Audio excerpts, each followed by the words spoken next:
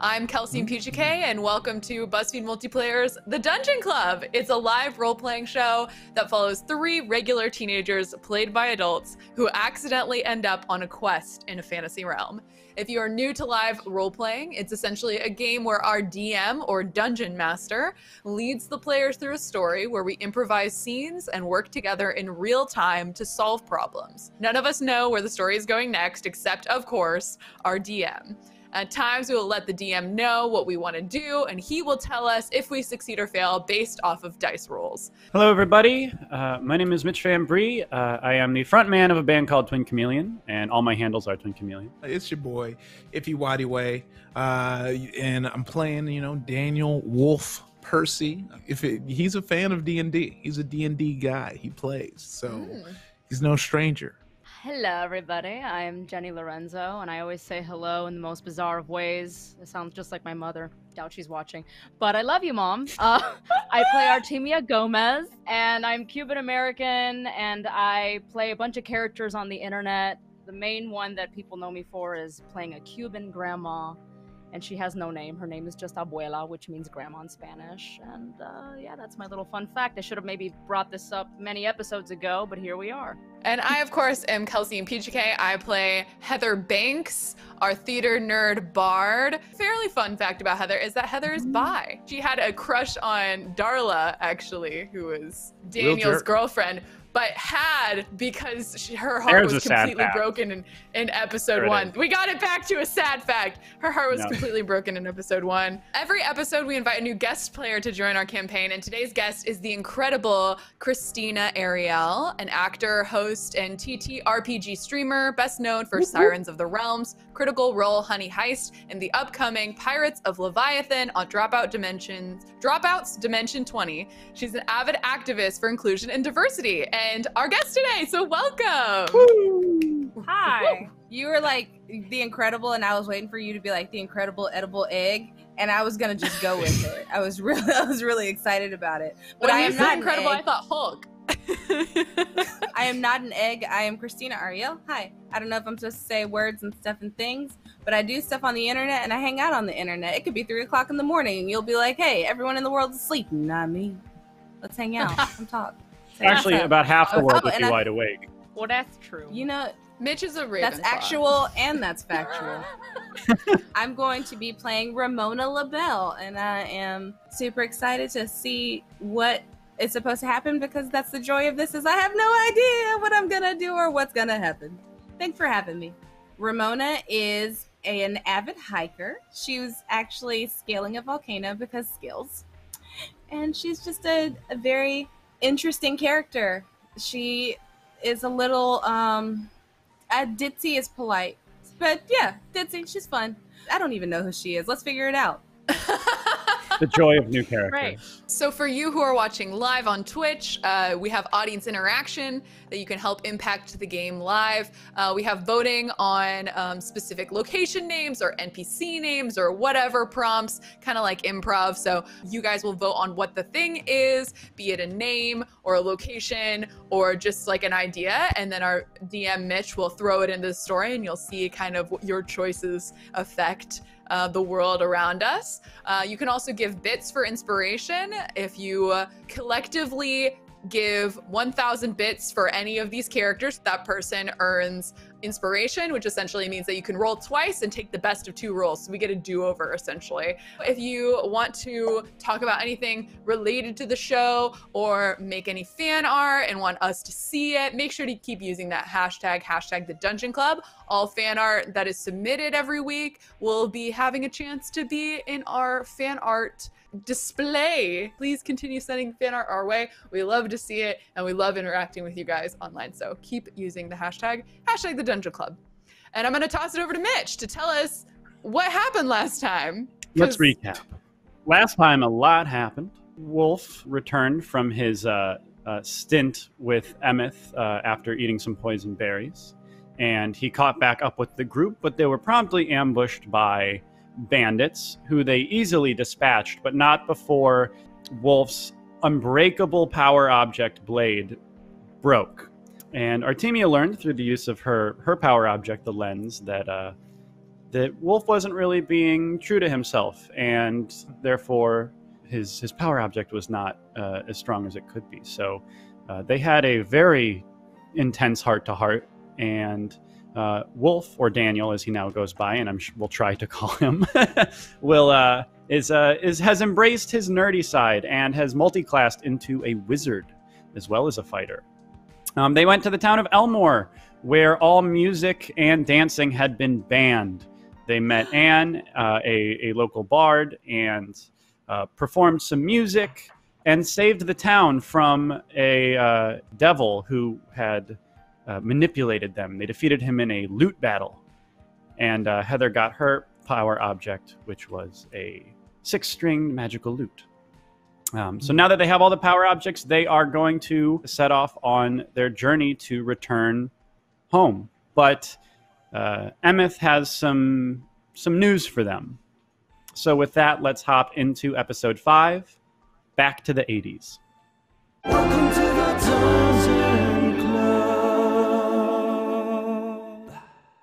Emeth looks nervously at you. He goes, "I haven't been completely honest with you. You aren't from 1980s Earth. You're from here. This is your true home. 100 years ago, you were the greatest champions this realm had ever seen. You had your power objects, the very ones you have now, and you were a team. You brought peace and unity to these lands, but then you fell in a fierce battle to the powerful Kenner. Your power objects were scattered across the land, and Kenner imprisoned you. But rather than killing you, he took delight in creating a demiplane, a, a false reality that was designed to seem normal but was wrought with suffering, angst, and unfairness. And most importantly, he created a place where your differences would drive you apart rather than bring you together. He found it so amusing to have you close to one another, yet have no idea of the power you once wielded together. But then, in an attempt to save you, my master, Mattel, he entered into your prison realm and posed as what you would call a janitor. He was supposed to get you and come back, but for some reason, you came and he didn't. You need to go back to the 80s using the portal inside Mount Gravis. Find Mattel and figure out how to stop this bleeding of the 80s into our world. I think, based on what you told me, he opened a rift to get you here and it's still open. Does that all make sense? That's real No. heavy, dog. No, it doesn't. I, I know. Uh. I'm I'm sorry I didn't tell you right away, but you weren't ready. You wouldn't have believed me, but I, I hope now I you can see you the truth.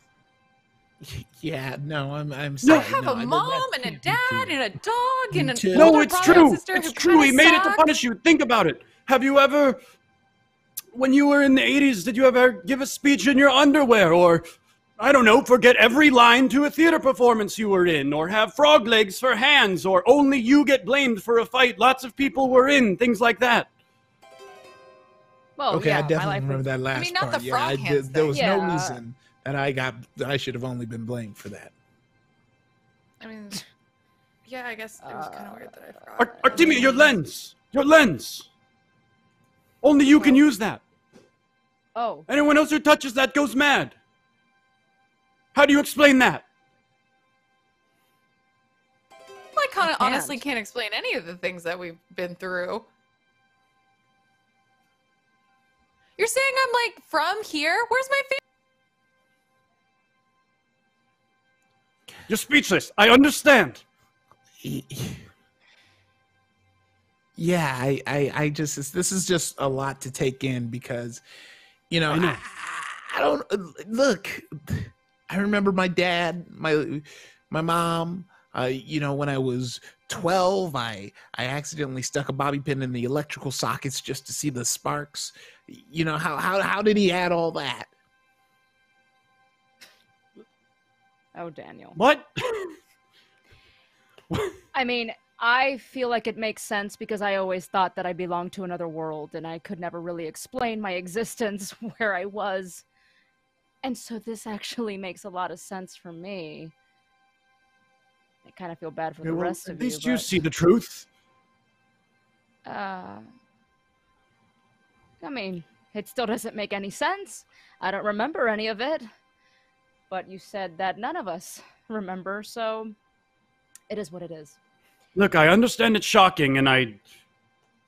I knew you might not take it well. I mean, Heather stormed out of the room, so she might need some consoling later, but go Well, see for yourselves. Mattel is still there, the rift is still open. So go back, see for yourselves that it's true. Close the rift and come back with Mattel so that we can we can return you to the, the great champions you once were. Okay? Oh, all right. We will go do that.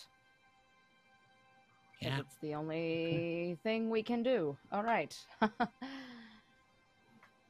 Yeah. All right, so you uh, he he leads you outside back to your horses, and he you, you mount your horses kind of quietly, um, and you begin to ride off toward Mount Gravas, the volcano that looms over uh, this this area um, that you can even see from his house. It's got lava flowing down from the top; it billows smoke. Um, and you begin riding. Uh, Heather is very quiet and not really in the mood to talk at the moment, but you know maybe eventually she'll open up again. Um, as the uh, the volcano, as you approach, um, you ride about an hour, and the volcano looms larger and larger over you, and you begin to head up a mountain path that switchbacks up the volcano and winds its way around. And um, eventually the road comes up and dead ends into a cliff face. The road just goes right into the cliff. There's no, the path doesn't continue, there's no door or anything like that. so you're saying there's no door, there's no path, it's just a dead end. Mhm. Okay. Uh, what do we do? What do we Well, do? There has to be a door here somewhere. There's probably some kind of hidden switch or button or rock that we need to, I don't know, touch a certain number of times or a password. Do you want to roll investigation? Sure Mm. thing. Eight. Eight. Uh, you look around, but um, you you don't see anything in particular. It just seems kind of, you know, you search some some nearby brush. You kick some rocks around on the ground, looking for like a pressure plate or something on the ground, but you don't find anything. All right, hold on, our our team. Heather rejoins the company. Okay, guys, I stopped freaking out. Um, what's yeah, you, you're kind of just moving with your face in stasis that whole time, just in complete shock. It was real weird, but I wanted to give you your space. You know, I've heard it's called being catatonic, uh, and it can help Mm. in extreme situations. Mm. My, I've I've had it before. I'll probably maybe ha- I hope hopefully I won't have it again. Um, so what's going on? What's new? What's well, I'm about what's to check the area, make it make it safe, and then You've uh, you've Uh-huh. ridden you you've ridden your horses up the side of Mount Gravis, the volcano, and the the road Oh. just dead ends into a cliff face. Yep, and there's no door. Yeah, There and here's- is uh, no path. folks. Because people Was a- were asking to see our die. They were real curious. Oh. and then also I learned uh, how to turn on the autofocus on my camera. Well, so my focus sucks. Oh, exciting! I you. apologize, yeah. and for my lack of, you know. that's all good. I rolled a dirty Fine. twenty, a dirty twenty for uh for for that investigation check. Cool. Well, if you walk up to the cliff face and you start, uh, you, you notice there's kind of it's kind of caked in like rubble and dust, and you start wiping away, and, and you realize uh, you, as you wipe away, there are uh, there is an inscription that says, "It's dangerous to go alone." and you also have there are three runes. Hmm. That's the inscription. Wow. That's really And there are- weird. there are three runes, each of them 10 feet apart. And you notice when you were wiping, each time your hand passed over the rune, it would faintly light up a little bit. Hmm. Should we just read it aloud? Yeah, I, I think that's the only way. Are we showing our dice bags too? Oh, I showed mine because it says it's You dangerous to go alone on it. Mine matches my outfit and my soul. Oh, that's a cool dice bag. That's a cool one. I like that. Person that doesn't exist yet. Sorry to uh, to recap. You've there's an inscription above that says it's dangerous to go alone, and then beneath, 10 feet apart on the wall, are three runes.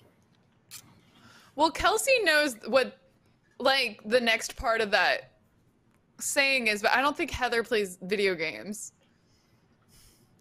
So, from Kelsey to the others, whoever feels like they've played this video game, normally the rest of that goes, here, take this, and there's like a thing to take. Mm-hmm. It's dangerous to go alone, take this. Hmm. Yeah.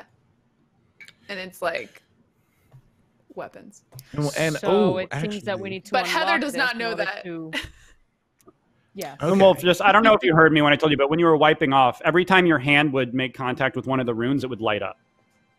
Okay, yeah. I here's I'm gonna Hmm. buckle up, Mitch. Oh. I hold tight onto my grimoire Mm-hmm. and I stare at the rune. Okay. It's confusing, but I continue to stare really hard and I think on the words that were just spoken to me. That I am of this world. I'm not from a teen from the 80s. And I almost start to drift, forgetting where I am as I focus on this. And I try to see and rack my brain as hard as I possibly can to see if this rune is familiar in any way, whether it be from fleeting memory or playing D&D at the table uh, back in the 80s. Go ahead and roll Arcana. All right. Uh, I'm going to, I always like using different D20, so I'm switching to this metal boy right here. Ooh, that's cool. Yeah. You know, just for the chat. You know, y'all ask and I try and if, you know, don't ask It's anything here for you. weird. mm, see, that's why I don't roll this one. Uh, that's going to be a 10. Put that one back bad- away. yeah, yeah, this heavy Um, boy. Banished. Dice jail. You Yeah, you're you're not positive. Um but you think that it, it has it signifies something to do with touch. Heather goes up and touches the words because she saw them light up. And she just No, the runes light up, not the words. Oh, the runes. So there, There's sure there's too. and then there's rune, rune, rune, and each one's ten feet apart. There's three. Yeah. Heather touches a rune and up. just looks at the other twos and is like, "Touch the runes! Touch the runes! There's three of us." I will go touch the runes. lights up as well.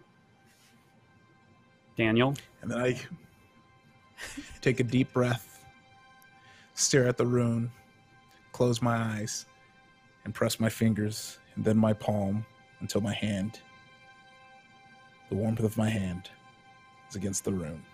it lights up. Kelsey's Suddenly, excited. Heather the ground begins to rumble and the cliff face fissures up the side and begins to part. And it reveals a narrow stone walkway over a pit of lava. There are lava falls all along the side and this this bridge just leads straight across into a large cavern deep in the depths of the volcano. I get it now because it was like dangerous to go alone, but there's like three of us, so we couldn't have gone Hmm. unless there were three of us. yep, that is That makes really- sense. true. This Yeah, is I'm kinda still worried about the danger uh, part of that. I think the kinda danger is hot. still. I'm still worried about the part where he says that we're not from like that the all of our lives is fake and nothing's real. Uh, well, it's not that Yeah. it's fake. It's that the life we thought we had is fake, and we don't remember our past life. So everything's okay. I'll just, you know what? I'll just shove that way down deep inside and deal with that later. Let's go forward. Heather Yep, just starts us- walking into with her little cherry guitar on her back, just bopping in her potato sack. this is how I deal with Yeah. all of my pain and trauma. Denial. Let's just go. Let's just go forward. All right. You you cross the bridge and you begin to sweat as just the the lava everywhere radiates around. It's this just s- steamy, humid, hot cavern, and and you enter. Uh, you cross the bridge and you enter a cavernous circular room, and in the middle there is a large magma pool with chunks of blackened rock floating throughout. The magma begins to bubble, and slowly six of the black clumps rise up and take the shape of small humanoids with sharp teeth and claws. Their exterior is hardened igneous shell, and you can see cracks in their body where glowing molten rock flows within. They glare at you silently with toothy, fiery grins. And I need you to roll initiative. Oh my. Well, to roll initiative, look inside my fiery heart, 18. take 18? my fiery red die. And with this die, Jesse says, which means 16. oh, my 16. face. Whatever. You get Daniel? Yeah, 13. Oh no, 15. Have All right. initiative. So Heather, kind of uh, running towards you on top of the lava, are uh, are six of these like little kind of magma demon-looking creatures. What do you want to do? Um, well, she, I don't think she is as empathetic to magma creatures, and she's also wigging out hard. so I think she's gonna go like berserk and like let out all of her fears and frighten, like just energy on this, and and uh, she's magically going to manifest a shimmering green acid arrow because this is all of the deep dark bad crap that she's like pushing down in a in a form and she's just gonna throw it towards uh, one of the magma monsters Okay. um, yeah Go ahead and roll to hit. yep um what do i roll okay well to hit there it is i found it that is a 25 Woo! Roll damage. Yes, I shall. Oh my goodness, that's a 13. A 13. All right. Hulked out Heather is my Your acid your acid arrow flies at this they're called magmans, by the way. It flies at this little magman, and as it hits, it explodes with an acid splash from within, and the, the creature just kind of explodes into liquid magma and settles back into the pool. Not today! She said. Artemia, it's your turn. What do you do? Do these fun little creatures that remind me of my cousins, do they continue to spawn continually? Is there, Uh, do we have, You there's now five. Um, it, it doesn't seem Okay. so far like any spawn. and are any of them attacking, trying to attack me directly? Um, they're all kind of charging at you from the middle of this lava pool, so they're still Mm, in the making their way. So you don't know who they're going for quite yet. Absolutely delicious. Okay, so I'm gonna just try to break their little multi hot bodies with my uh, short sword. Okay. Um, so you can actually you can walk up to the edge of the lava and and make an attack. Okay. Um, so go ahead and roll to hit. 12. A twelve does not hit. Your blade actually makes contact, but it kind of just gets like absorbed by the the molten, and you yank it back out and like fling off the, the lava before it melts your sword. Okay, so My Um, sword is okay. Up next, we have the Magmans. Two of them, uh, two of them charge straight at Daniel, and they run up and they just kind of are outstretching their hands. And all they're trying to do, it seems, Wolf, is to get their hands, their magma hands, on you. Oh, that's a crit fail. And does a uh, a 15 doesn't hit you, right? No, 15 does not hit this body. All right. As they charge at you, you you pull back into your wide receiver uh, skills, and you you fake one way. You you look you look left, and your body goes right. You juke them out, and you draw your blade and shield and prepare to attack.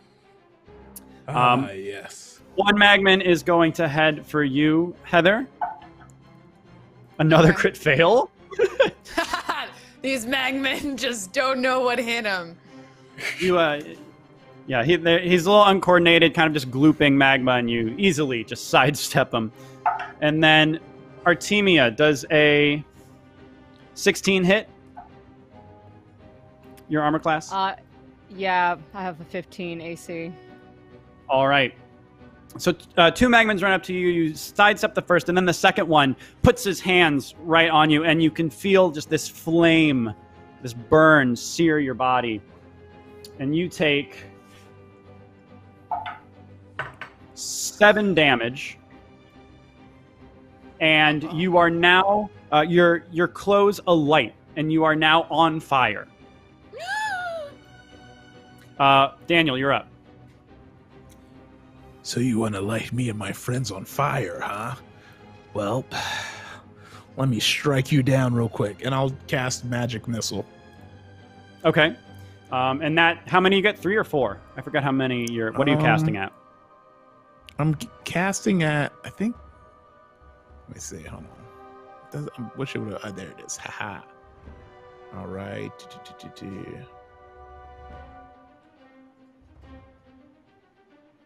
Okay. Okay. Yeah, it's uh one uh one per uh spell uh three. Let me see. I believe it's three. Says Yes, three darts, and then you cast uh, you cast uh, one more dart for each spell slot above the first. So I'll do um, four darts. all right, four darts. Um, go ahead and uh, it's automatically hits. I forget. Do you roll damage or is it a set damage with magic Uh, yeah, roll damage one d4 plus Okay. one. perfect. So prepare. And which which four are you hitting? Um, two on Uh, you, two on so, Artemia, one on Heather. Uh, I'll do uh, the. I'll cast them for the two on me and the two on Artemia. Okay, perfect. Go ahead and roll And that- damage. That is going to be four damage. All right, your magic missiles, like heat-seeking missiles, fly and hit these four magmans, and you see chunks of molten rock like fly off of their bodies, leaving little holes that seal back up with flowing magma. Um, but they are now just a little bit smaller, uh, having Yeah. removed part of their body. And we go back to Heather.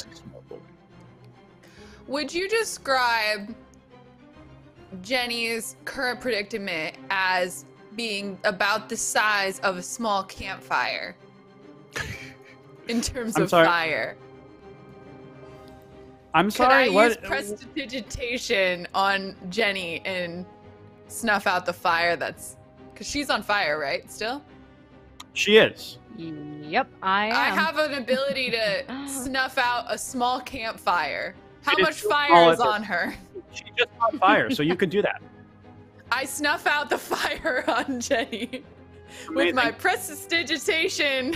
I'm saying it very wrong. Jenny, as, as the flames to climb up, the claims, flames are starting to climb up your, your clothing, but then suddenly they just poof, blow out like a candle, and you're, you just have a slight singeing. Um, And that, that's And a it- cantrip, so that doesn't count as a, my thing, right? um, can you cast it as a bonus action?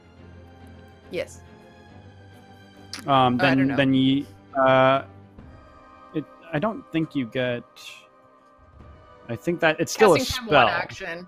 Yeah, so that was your that was your turn. Okay. Um, I assume you don't want to move. you're within melee range, so it'd be an attack opportunity, so you probably don't. Oh, so I can't hide now. Uh, okay, no. Bonus action. Um, it, no one has taken damage yet, right? Um, Artemia Or has. did? Oh, Yeah. okay. I'll I'll cast healing word on Artemia. Okay. Thank you. You're How much welcome. health? I am looking that up. You guys I'm all have inspiration, by the way, just a reminder. Oh, Mm. Thank Sick. you. I, I did need that reminder. All right, healing word, or not healing word. Wait, no, it was healing word. Her, healing word's a bonus action, right? Yes. Okay. Cast healing word. I will roll it, and it is nine. You get nine healed. I say I I turn out the flame, and then I go I go. The healing word today is. You're amazing. That's the healing word. And it heals you. Artemia, it's your turn. What do you do? Can I use bonus action disengage? And then, uh, who is being attacked the most currently? Is it Daniel or is it Hel- Uh, Heather? Dan- you and Daniel each have two on, so so Daniel is the most attacked right now. Okay, so I'm disengaging and I'm sneak attacking one of the little Okay, go ahead and roll. demon children. Okay, got 13. Uh, Thirteen does not hit. Did you roll with advantage though? I did not. Ooh-ah. So roll again. I got 15. That hits. Go ahead and roll your damage. Hmm. Hmm. 8. Eight damage. All right. So you you run behind one of the magmans and you stab your sword through its back, and it kind of lets out like a, a cry with and smoke comes out of its mouth, and it uh, kind of rumbles and then explodes in a splash of magma. And I need both you and Daniel to make a dexterity saving throw. 23. Daniel, dexterity saving throw. Oh, shit. Come on. Trying to choose which dice. I'm going to go with the one that says dough if I get a one. Oh, Did you get Did you get dough? I most certainly got dough. Oh, You brought that on yourself, man. I most certainly just rolled this stupidity. Oh no. All right, Daniel. Well, you are you are splashed with magma and take eight damage. Um, Artemia, you kind of dive out of the way, and it just catches your leg a little bit, so you only take four damage. Um, but you have dispatched another magman. Ugh. So there's now only four left. Yes. Okay. And then there were four. Oh, I sure did have in, uh, inspiration, but it's all good. I'm saving it for when it counts. I'm gonna waste him on a little mag magma little baby. Heather, Sorry, how much damage did I take? Eight. Okay. Heather, the magman still on you kind of reaches up and touches you, dealing only two damage. He just manages to touch your clothes, but your clothes do alight, so you are now on fire. I used my thaumaturge to turn it back off. Not yet, you don't. Um, Not yet. Artemia, one runs up to you and puts his hands on you, dealing seven damage and lighting you on Oh. fire as well. Can we not? And then Wolf, for you, you you've got your shield out and you're just like shield bashing away these magmans. They're trying to touch you, just rejecting them with your shield and sword. Uh, we go to Daniel. You're up. You got two friends on fire and you're surrounded by magmans. Help us! Friends are on fire. There's Magmans. Okay, let me see. Uh, well, spell wise, uh, really can't do much. So I think I need to start slashing through some of these uh, little dorks. So uh, I'm going to go ahead and uh, slice at one of the magma magma babies with my blade. Okay. All right. So that is going to be a 17. Does that hit? That hits. Yep. Go ahead and roll damage. You know it. Okay. Baby D8s. I have one right here. Why am I playing games? Five damage. Five damage. You stab your sword right through the mouth of a magman into its kind of fiery inside. And as you do, it goes limp and its whole body just melts off of your sword. Um, but uh, before kind of poof, exploding in a ball of magma. So make another Dex saving throw. Um, as well as you, All Artemia, right. because you're within five. Okay. I'm not gonna use the dough dice. You are in jail. Uh, let me see. Let's go with, with black and gold. What you got for me? I got 17. Okay, you I got uh eight. Uh, you do not succeed. So you take another You're in jail too. Uh, you take six damage, um, but only three for you, Artemia. As you uh, you've seemed to learn that these guys explode when they die, and uh, Daniel is a little carried away with his sword swinging. All right, there are three remaining. Heather, you're up. What do you want to do? Um, as a bonus action, can I stop, drop, and roll? Uh, you yeah, you take an action to put it out.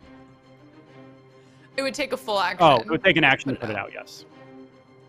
All right, I'm gonna just acid arrow one of them again. Okay. She's gonna be like, "Fire! What fire?" And she's gonna manifest her anger again and throw it in all of its acidity glory. All right, go ahead and roll uh, the hit. At one of the magmen, and that would be a 21. Are you doing the one near you or the the two near, um, near Daniel? I'll do whatever is. Well, I'll do one that's probably gets closer to me because I don't want it to explode Okay. onto Daniel again. Okay, roll the hit. All right. Oh, I did roll to hit. It was 21. Oh, okay. Sorry, roll damage. I mean. Oh, yes. The damage. What's the damage? It's 14. Oh, all right. Um, so you take six damage from being on fire, by the way. Ah. And then I need you to make a Dex saving throw as uh, once again, like the first arrow, lodges in and explodes in this acid magma cocktail. Okay. Okay. Am I gonna make a dexterity saving throw? This dexterity saving throw is gonna be just very good. And that is 17. All right. You Yay! succeed. Oh, still not good though. Uh, you take six damage. ah! She does like something flashy, like she tries to do some like some kind of like cool uh, dance move where she like spins, um, but then she kind of spins into some of it. So It'd be your own dance moves. yeah. All right, Artemia, you're up. There's only two left, and they're on you and Daniel. And I'm still on fire, aren't I? Yes. Great. Love it for me. Um, You can use an action to put it out. I mean, can't really do much if I'm on fire, right? I mean, you know, turning into a freaking don't worry. Roberto over here.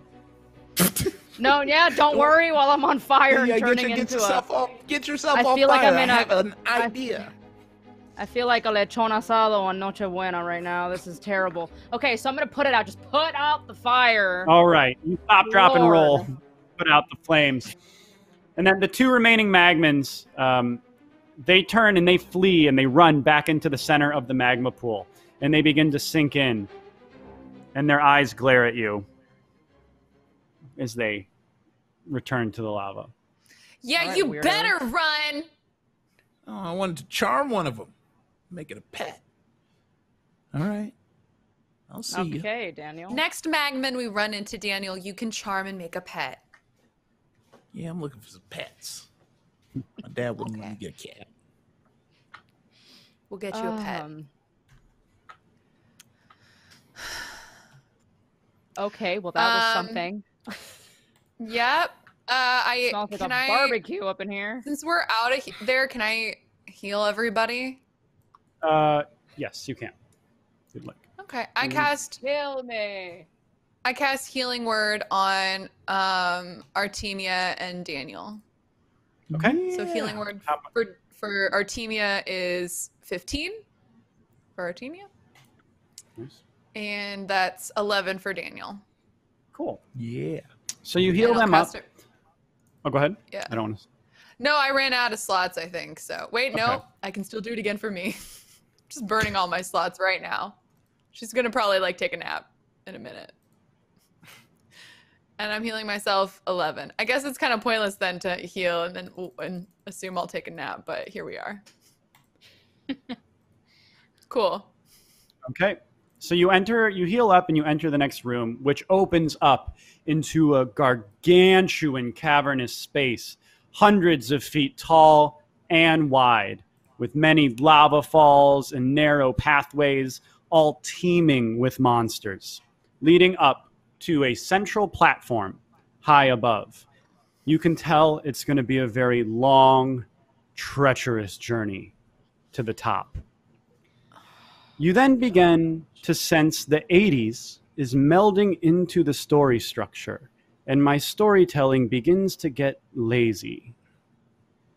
It's time for a montage! Yeah! My favorite. volcano. Do montagey stuff.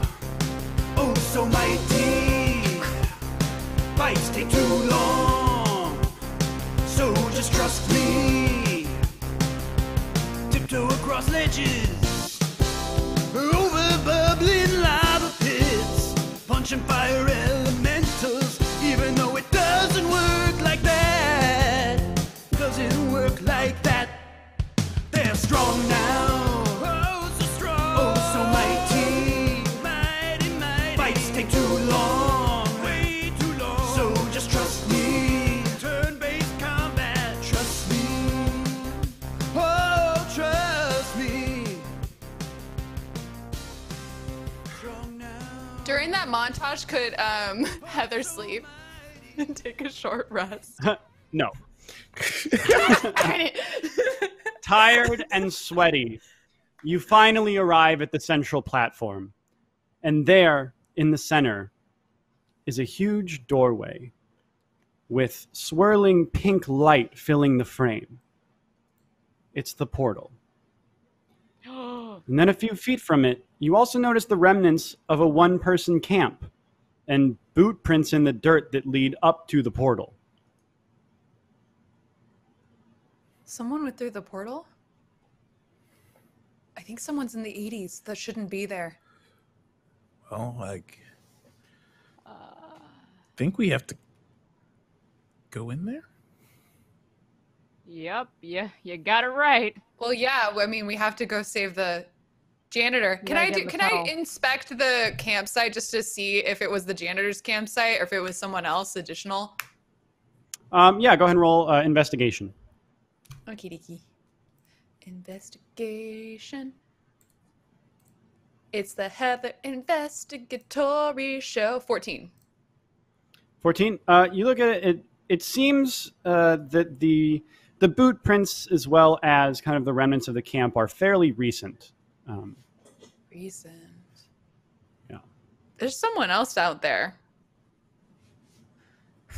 All right, well, I guess we should just go, right? Let's go. Yeah. Back to the 80s. Yep. This Back is to the 80s. Has a nice ring to it, doesn't it? yeah. Should be the title of film, maybe, or similar. I look back at towards uh, Kit and I say,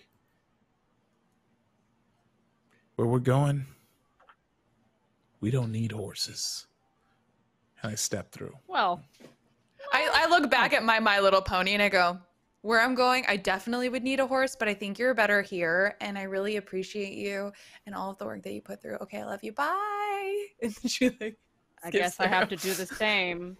I turn to turn to Pongo and I say, "Where I'm going, there's gonna be a dope Disney film with a character named after you." Aw, That's it. nice. That's all. I. I should have cast Speak to Animals and made you speak to me again. Oh. I mean, I'm, You, I'm uh, in the 80s. out of spell. All right. You stepped into the this portal, and as soon as you step through the threshold, you find yourselves floating. In every direction, you can see the astral plane. And faint music seems to be coming from nowhere in particular as you float past endless celestial bodies. You feel relaxed and rejuvenated, and your wounds and burns heal completely. And Heather, your spell slots are restored. Yeah. As you float, your power objects liquefy and morph. The spellbook into your basic coding book, the lens into your camera, and your lute into your dad's guitar he keeps in the basement. Um, it also uh, is now within a gig bag, so you can carry it on your shoulders without having a random guitar in your hand at all times. okay. Um, and, and just as a reminder from last episode, you're already in 80, 80s clothing um, from Yes. when the song transferred and everything. Eventually, you feel yourselves being set down. And in a blink, you're in the back seat of a red Ferrari 250 GT California convertible in the middle of a parade in downtown Chicago. Is this The a driver- Ferris Bueller reference. The driver turns around and goes, Oh, not again! Get out! Get out! Oh, ah. In the middle okay. of a parade, just jump out of Wait, this how, where am car. I supposed okay. to go, Going dude? Yeah, I don't Yeah. care. Get out. What's with people All just right, all hopping in right, my all right, let's car? just- Wait, did someone hop in your car? Who would? What did they look like? What were they like? I don't know. Some probably part of a He-Man float or something. She was dressed all weird. Now get out of my She car! was dressed. Okay. Okay, oh, getting sure. out, getting Oh. out. I, I get out of the As- car because this Cool. is awkward. Heather does As like you- a fun little like flip out of the car. I, I As you hop out just- of the car, uh, you notice a dusty boot print on the trunk. Oh, sure. Hmm. Wait, Is it going out or in? It's going back, like back further in the parade. Away. It looks like whoever. Well, I'm gonna follow came those out- prints. Yeah, it looks like whoever got out of the car and the portal probably went this way. So let's start looking for someone that doesn't fit into the 80s. All right. Yeah. Well, as you as you say that, you look up, and uh, on the Ninja Turtles float behind you, you see a woman in adventurer's clothing. She looks confused and panicked, uh, and there are teenage parade volunteers uh, in yellow polos yelling up at her, and they're going, "Get off of there! Get off of there! Stop! In the name of the the high dingy do! Get get off of that!" And this, uh, she doesn't listen to them, and she seems confused and, and panicked.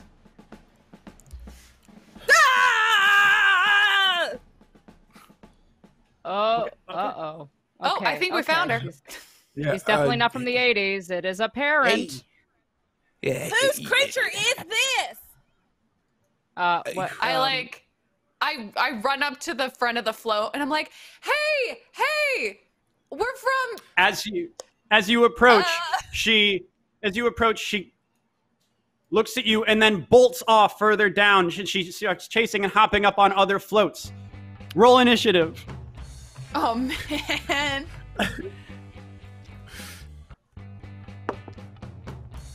All right, I got a seven. 17. My good rolls had to run out at some point. 15.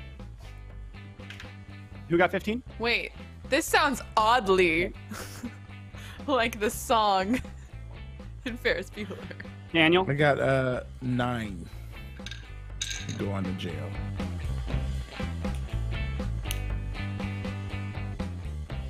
All right, so she hops off uh, of the float and begins running back further through the parade. Um, Artemia, you are first.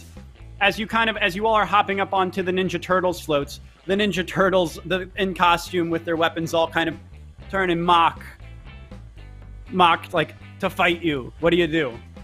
Oh no! Oh, not not Donatello and Michelangelo and Leonardo. Um, what do I do? Well, these their weapons they're carrying are not real, so uh, No. they tr- te- They're they, just they do not pose a threat to me per se. Uh, but uh, um, Can I like jump ahead and I, cast I want something? to be able to dodge them. Um, yeah, so roll roll a dexterity. For me or Heather? You. Rolling dexterity. 22. All right, so you actually you run and you slide right between Raphael's legs, just phoom, straight under, and you continue chasing this interloper through the floats. I'm like, cowabunga! and I keep going. Ramona, you are up. You're now running and you're climbing up onto a Transformers uh, float with a bunch of. Uh, they're not humans. They're just like kind of Transformer statues or builds. Can you make a, uh Dex save for me? That is a dirty 20. Dirty twenty. Mm. All right. As you uh, as you are running through the float uh, with their with their guns, the Transformers boof, boof, boof, shoot off confetti cannons, and you manage to uh, to dive your way forward and avoid getting blasted with these huge streams of confetti, and continue to dash. Uh, Daniel, you're up. You've got these Ninja Turtles in the way, man. What are you doing? I am going to uh I'm going to just hit one with an unarmed strike and with a karate chop. Gotcha! Okay, go ahead and uh, And I Roll rolled a hit. 24 to hit. okay. Are you? Uh, how hard are you hitting, man? I, I'm What's just trying unarmed- to do like a huh? What's well, yeah? Go well, ahead. Like it- it's uh, apparently it does just a flat five bludgeoning, but I'm just trying to do like a mock hit, like just like a boo, like as if I'm playing along, but enough to knock them on their butt. Okay, cool. Five would kill a person, so we'll uh a regular person. So you got to mock. You just knock him in, and jokingly, the the Ninja Turtle, he, you know, falls down, um, and you just hop over him and continue running. Heather, Okay. what do you want to do? Um, I think I'm gonna try to like do a performance where I look like April O'Neil, and I like, cause I'm like, so she's gonna be like, "You Ninja Turtles always getting into trouble when the real danger's out there. Like, let me through." she's gonna try to like perform her way through. Okay, roll performance. Thank you. All right. That's a 23. All right. All the uh, all the Ninja Turtles uh, in costume, they grab their heads and go, and they you know gesture it part and gesture you through. and she like Poor runs. and She's like, mascots. April, O'Neil, out. she keeps running. Uh, Artemia, you're up. You're now on the. Uh, she's still running through the Transformers float, and you're climbing up on now. Um, give me a Dex save um, to start. 12. 12. Oh, as you're running, boof, the cannons go off again, and one just poof, hits, goes right into your chest and knocks you prone. Um, so you were you were close on Ramona's tail, but now you got knocked down, and she's continuing to run. So the gap is growing. Um, Damn it. And then uh, Ramona, you're up. You hop off the Transformers float and you're climbing up onto the next one. Um, it's uh, you don't really know what it is, but there's some guys in with like big packs on their back and, and like khaki jumpsuits, and there's a big like marshmallow man in the way. Um, oh, I can't hear you. Uh, if you're talking, I can't hear Oh, you. that's because I didn't say nothing. Oh, okay. I didn't. Say- but what I would like to do is go straight for the Marshmallow Man, and Okay. I would like to push him. Okay, go ahead and roll uh, strength for me. So 14 minus 1, that's a 13. All right, you walk up and you you walk to this marshmallow man and you oof, push him. And it's actually he's a lot harder to move than you anticipated, and most of your strength kind of goes into like it just pushes in his his stomach portion. Um, so you don't knock him over, but you manage to kind of squeeze your body in and work your way around and to the far side of the uh, of the marshmallow man. And then Daniel. Adversary. Daniel, you're up. All Um, right. You're still. I think you're still back on the uh, Transformers float. Yes. So start with a Dex save. Yeah. All right. Let me go with this young Dex save. Oh, that is a nat 20. Oh. So you run, you hop up, and you these cannons fire. You dodge them. You actually hop over Artemia, who is on the ground, and continue running after Ramona. Um, and you're you're gaining on her now. Um, in fact, you've actually you've you've caught up. You're so you're now at the other side of of the marsh. She's on one side of the Marshmallow Man, and you're on the other. Um, can I get a, a strength uh, saving throw or a strength roll from each of you? All right. All right. Should have switched dice after that nat 20. That's going to be a uh, 16. Did you get a nat 20? Or what'd you get? 16? No, I got a 16 minus 1, so it's 15. Oh, 15. 16. So, so pretty dang close. So, uh, Daniel, you, you get up and, and you kind of see as you try to go to one side, you know, she she goes the other. So you you each at the same time have the thought to push the marshmallow man. So you each start pushing. And as you do, the marshmallow man is just flailing around. Um, but eventually you kind of push it up and and Ramona falls back off of the the trailer and loses some ground. She kind of scrambles up to her feet and slowly continues trying to to run. Um, Heather, you're up. You start with a Dex save on the transformer float for me. Can't hear you. Of course I shall. That's an 11. I mean, oh, you run through, you hop over Artemia, and as you are, goosh, the cannons go off again, and you just get hit in midair and just get like tabletopped to the ground. Oh no! Poor Heather. Okay, well, she tries to like, um, I guess, like r- roll out of it and like get back up and then like sprint. Okay, cool. Um, Artemia, you're on the ground as well. I assume you want to stand up and keep running. I yep, you are correct. This is pathetic, All right. and I do not like this look on me. Perfect. No, the uh, the. Ghostbusters, uh, the Ghostbusters have all hopped off of the float and are helping this Marshmallow Man who fell off the side get up. So it's a clear shot as you run over. Um, you catch up, and then but now as you hop off, there aren't any more floats.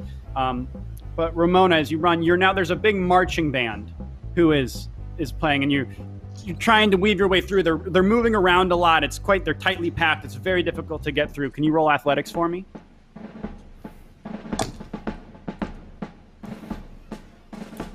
All these bards just in the way. 16. 16. All right. Um, and then uh, Wolf, can you roll athletics for me as well? My people.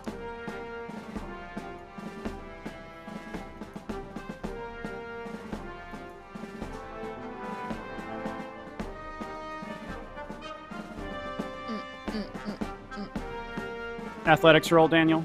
Being slow. Okay. My bad. Let me see. This bot.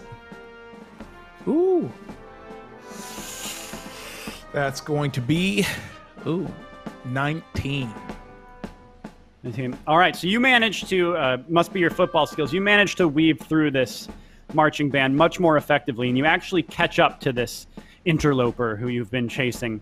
Um, and and as you you catch up and you kind of get your hand on her, suddenly uh, in the float behind the marching band, um, there is a kid, like a teenage kid, who is singing a popular oldies song um, that the band is playing along to, and suddenly everyone in the parade gets in the street and begins dancing along um, to the song. So now all of a sudden you're all sandwiched in as this. You don't recognize me, probably goes to a different high school, but you don't think that teen should probably be on that float. But no one seems to care at all, and they're just dancing in the street, having a great time. Um, but Daniel, you now uh, you now are right next to this stranger from the fantasy realm, um, and and she's realized she's got nowhere to go either. So what do you what do you do? I just look at them and just go, "Hey, we're just trying to help you get to what you're getting to, unless you're getting to something evil right now. So, who are you?"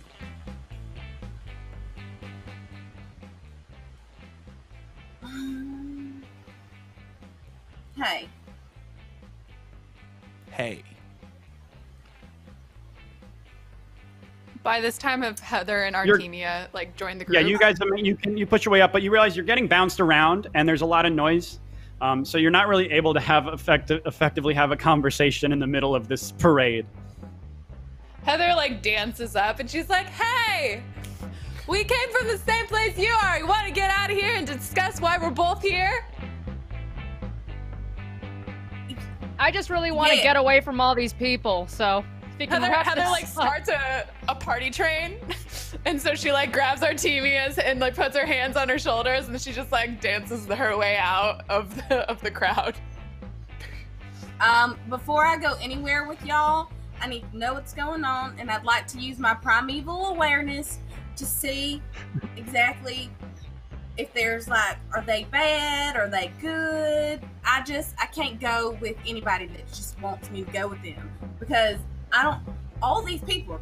Well, I don't know. I don't know what's happening, y'all. But I'd like to use my primeval awareness to figure out if there's any evil magic in the area. Okay, sounds good. Um, with with primeval awareness, uh, is there is it like an aura thing, or is it just a sense? I forget what the exact how that manifests or you know um, expresses its itself. Uh, it just takes an action in the spell slot, and I can check anything within one mile. Okay, so I think you just sense. So you you you use your primeval awareness, and um, it's kind of like sensory overload. You actually, um, not only do you get the sense that uh, that there is no evil around, um, the three of them emanate this feeling of just intense goodness. Um, you you've never had it be so strong. Um, never had anything seem so intensely good to you.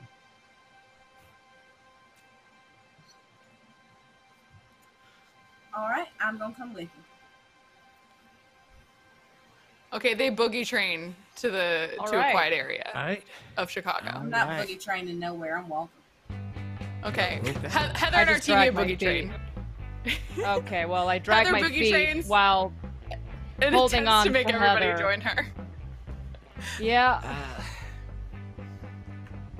Heather's a one woman boogie train to a quiet Alrighty. area. I just All right, you have make, a boogie. you uh, you boogie train your way, or at least Heather boogie trains her way, um, off of the street, and you kind of you get on the sidewalk and you walk, kind of uh, you you turn off of the road where the parade is, and you now just stand on a street corner that is not overflowing with people. Hi, I'm Heather Banks. I'm from, I guess, your world, and we went through this portal, and now we're trying to find someone.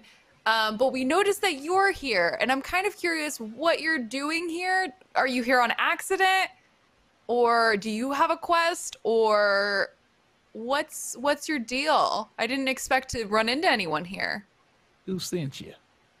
Huh? Nobody sent me. See, I was out and I decided I like to go and climb. So I went to go climb and I was on Mount Gravis. I just like to go because sometimes it's just real fun and it's real easy.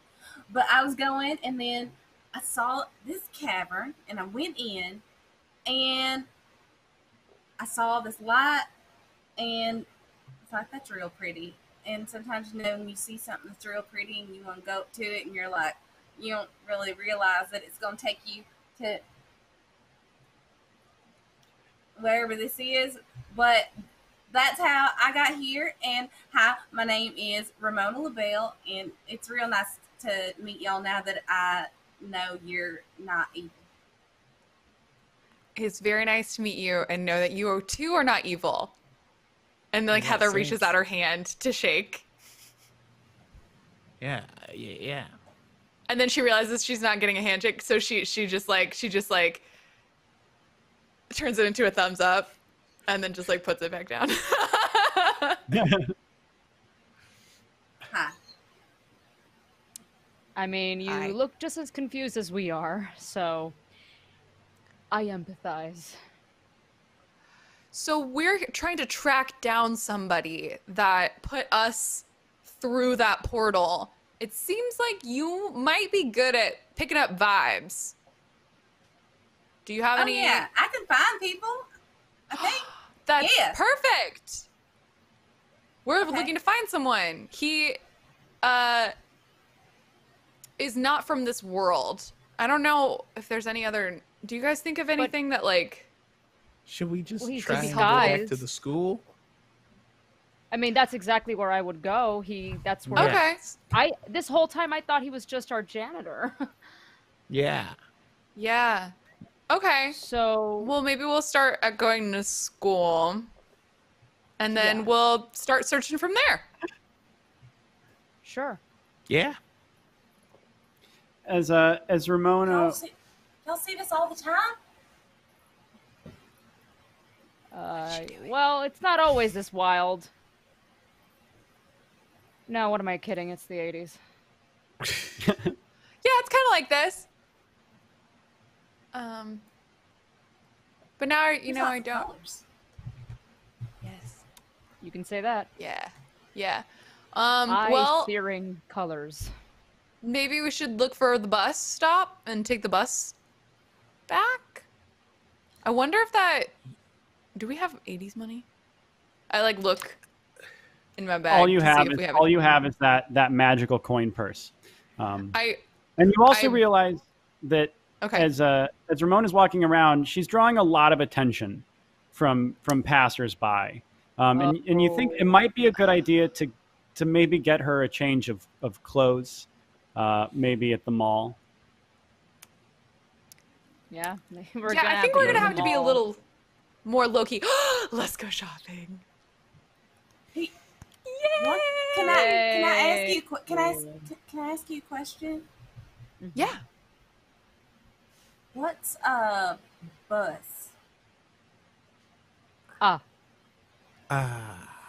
It's like a big transport that transports multiple people across distances to your to where it's you like want to go. A robot horse. like a robot or like a cart. A robot ca- yeah, cart carriage kind of thing. I feel like we'd have to Mhm. explain what a robot is too. So Whoops, yeah, Google. You're absolutely yeah, right. it's like It a is- it's like a large It's like a carriage that moves itself like Ooh. there's magic. wheels and they move Yeah. forward. Yeah, Right. and it's big. And you're not driving it. Someone else drives it. And you, you tell them where you want to go and they take you there. Yeah. You're freaked out, I- aren't you? I, I Mhm. completely understand everything that you just said. Good. okay. Well, you you got that Well, magical coin purse. I think we're gonna be able to catch a ride to the mall. Yeah, I Well, think we don't know need to get it something for you to blend in a little They're more. also you're, remember you're also in downtown Chicago, um, so there there are Oh, also so there's taxis walking distance as well. or taxis. Um, well, Okay, you, well, taxis you guys, the safer. mall, the mall, where your high school and mall and such are in the suburbs. Um, so if you're gonna if you're gonna take a transportation, you just a suggestion, you might want to head in that direction. you didn't like my bus idea? No, you can take a bus. We It'll take, take, a lot L. longer. The L does not go to your suburb. Ah, all right, fair enough. Um, You know what? Let's take a taxi. And Heather like Oh. sticks out her hand Okay. and Uh, after a while, uh, a taxi stops, uh, and you hop into the cab. Who hops in the front seat? Uh, I do Um, because I get motion sickness. Okay, Ooh, perfect. okay. Hop in the front seat, and the cab. You get in the cab. He kind of makes a remark. He turns around and goes, "Oh, you, you in the parade?" And he points at Ramona. Yes, she was. Oswald, where are you headed? To the mall in the suburbs, the suburb mall. Oh, I know exactly the place. I know exactly how to get there. Say no more.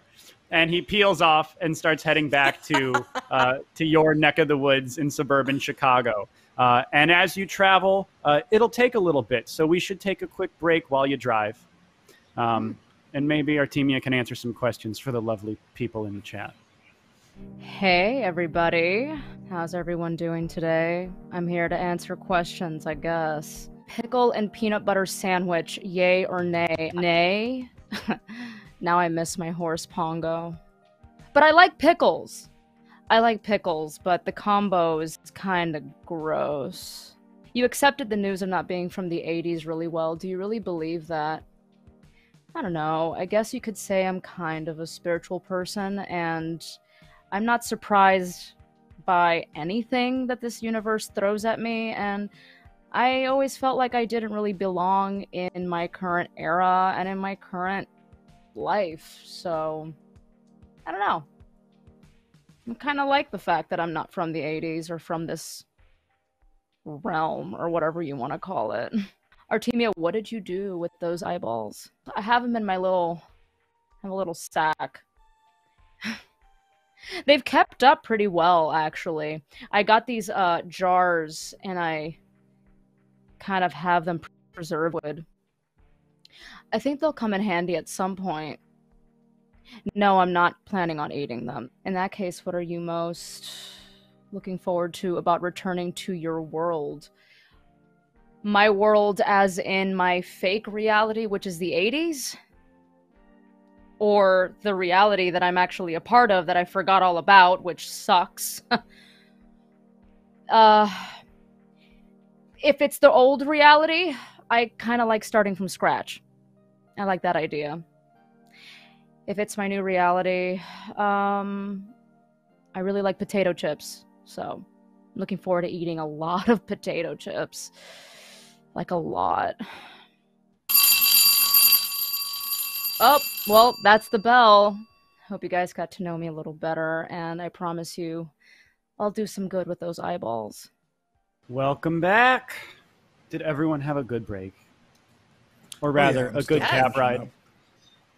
You had a great cab ride. Mm-hmm. mm-hmm. Yeah. It's a little bumpy. Uh, we stopped by. We stopped by. You know, our local spot. Got a quick bite. Got a quick dog. From Manty Brothers? Yep. Okay. Yeah, Yeah, I wish you would have asked me if I wanted something, mm-hmm. Daniel. Mm-hmm. I'm hungry Thumbs too. Dan- Daniel and the cabbie are just eating hot dogs while you sit. in the car. yeah, you know the, yeah, the Cubs. They're doing This is a great. good call. Mm-hmm. We're here, and he pulls up to the mall that they just built a couple years ago. It's still brand new, um, and he goes, "That'll be a forty-three fifty. Heather reaches into the bag and pulls out money and hands it to him. Is this? Is this real gold?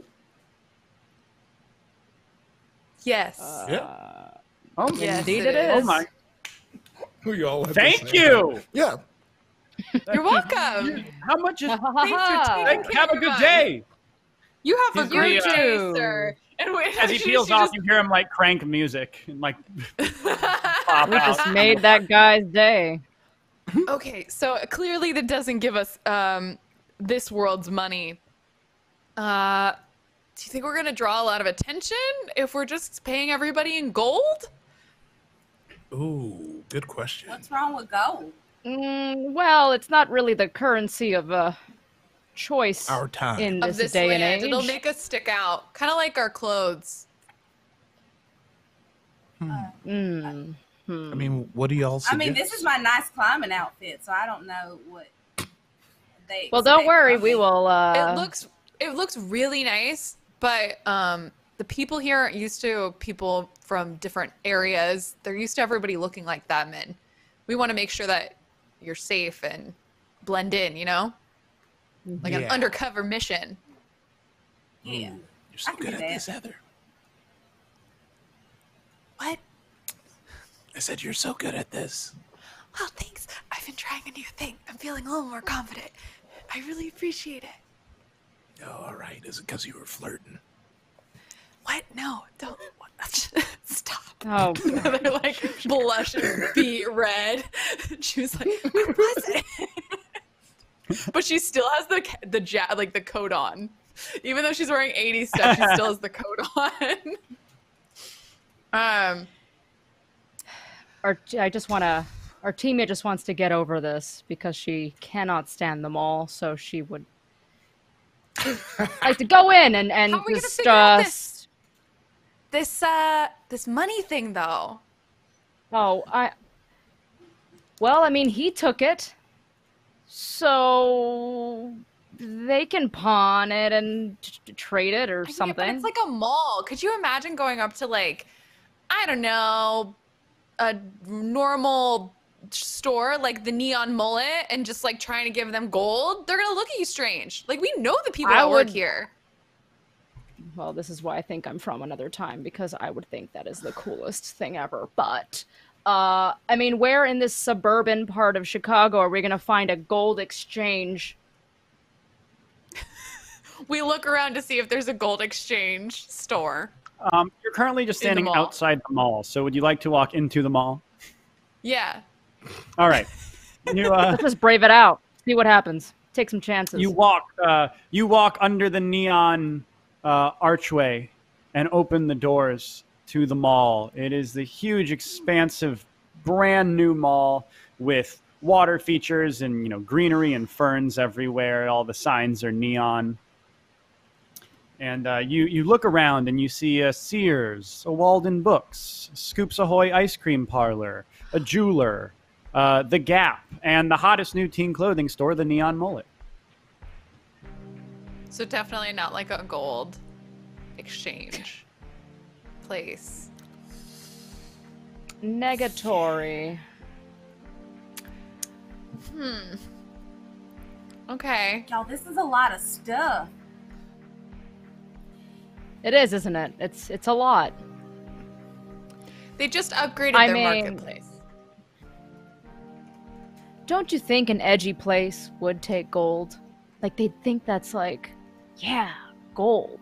Who needs this tree killing stuff? I just yeah, I don't I, gue- I mean whatever. I guess if this whole place is fake, it doesn't even matter, right? Are these people even real? I don't know anymore. just, like, having a I might just be a hologram at this point. I have no idea. Whatever. Let's just go for it. And she like walks into the neon mullet. Okay. So There you walk in and lot it of is, it mullets. is the it is the trendiest clothing store. It is all the rage. Teenagers love it. It has every cool hip 80s style under the sun. So whatever you're looking for, they probably got it. Does anything look good to you, Ramona? Anything you might want to wear? Um, I like how those those tops are slanted. I want one Great. of those. Perfect. Um, Heather walks over and picks like kind of eyeballs to try to find like the right size and like hands it over to her. She's like, All right, okay, and we just gonna need just start pants, I think now. Yeah. What's what's like the is there like a color or pattern or anything to it? It's a gray off the shoulder slouchy sweater. yes. So Perfect. she also goes over and sees a scrunchie. She picks it up. She's like, "This is a tiny little archery bow." Uh, it, I guess it could be, but here they put it in their hair as like an accessory, puts it on. like a ribbon or something. Oh my god. I You saw that that picture, that that thing. It's like she's got the ponytail on on the side. Yeah. I like the hair all to the side. It's like totally rad. Oh, this is so fun. Okay, we just need pants now, or like bottoms. Do you like like being movementy? Do you want some like leggings? Like um like uh. Oh my gosh, what's the like word for it? like they go on your legs. I'm not that dumb. Yeah, the stretch. Yeah, the stretchy pants that go on your leg. I'm not saying that you're dumb. I just didn't know how to explain what leggings were. I'm the dumb one in this scenario. Fine, I'll take those. What what about these shiny things? These like these. They look like my sweater. And she grabs some leg warmers. Oh yeah, go for it. Those go on your ankles. On the bottom of your All legs. right, Okay. I guess. And so we, we put together this ensemble, and we have Okay. Ramona change. Okay. She goes and she changes in, and um, I know it's it's probably really hard to picture what she looks like, but her ponytail's on the side. She's got like a gray off the shoulder sweater. I know it's really hard to imagine, but just try your hardest. If only we had a visual. Um, Only. but it looks great. Okay. And then she goes to the makeup stand and gets the blue eyeshadow. Heck yeah. What a I'm here. transformation. You look great. You like it? I love it. I feel. I feel And while that's It's- going on, I, since you know cell phones aren't a thing, I need to look busy to avoid anyone coming into contact with me because I am not for talking to random strangers. So I take out my camera and I start taking photos of things. Of like, what are you taking photos of? Ah, my surroundings, things that interest me in the mall, things that I think would be unappreciated actually. Okay, so just like object, like architecture and objects and stuff. Yeah. Yeah. Cool. Yeah, you do that, and it you walk around taking photos. It, it uh, even though you know it, it was it was your lens transformed, it operates just like your regular camera. Yeah, and I'm just thumbing through my grimoire, just trying to expand my brain. Heather Alright. pays with gold. Yeah, it, on And, the like- outside it looks like your basic coding book, but on the inside it's still your spells. Okay, go ahead, Heather. Heather tries to, uh, Heather goes up to the counter and, and tries to pay with gold. Hey, thanks for shopping at the Neon Mullet. I, it's going to be 107.53. Yikes. And she like puts down a stack of gold. What is that? It's money. It's real gold. I don't. I don't. I don't. I don't think I can take take that. I. Is. I'd have to ask my manager. No. Okay. I can wait. Okay, give me a sec. He turns around and he walks back into the back. and uh, about two minutes later, he comes out. He goes, "My manager's on lunch, but um, she said that you should just exchange the gold at the jeweler for cash."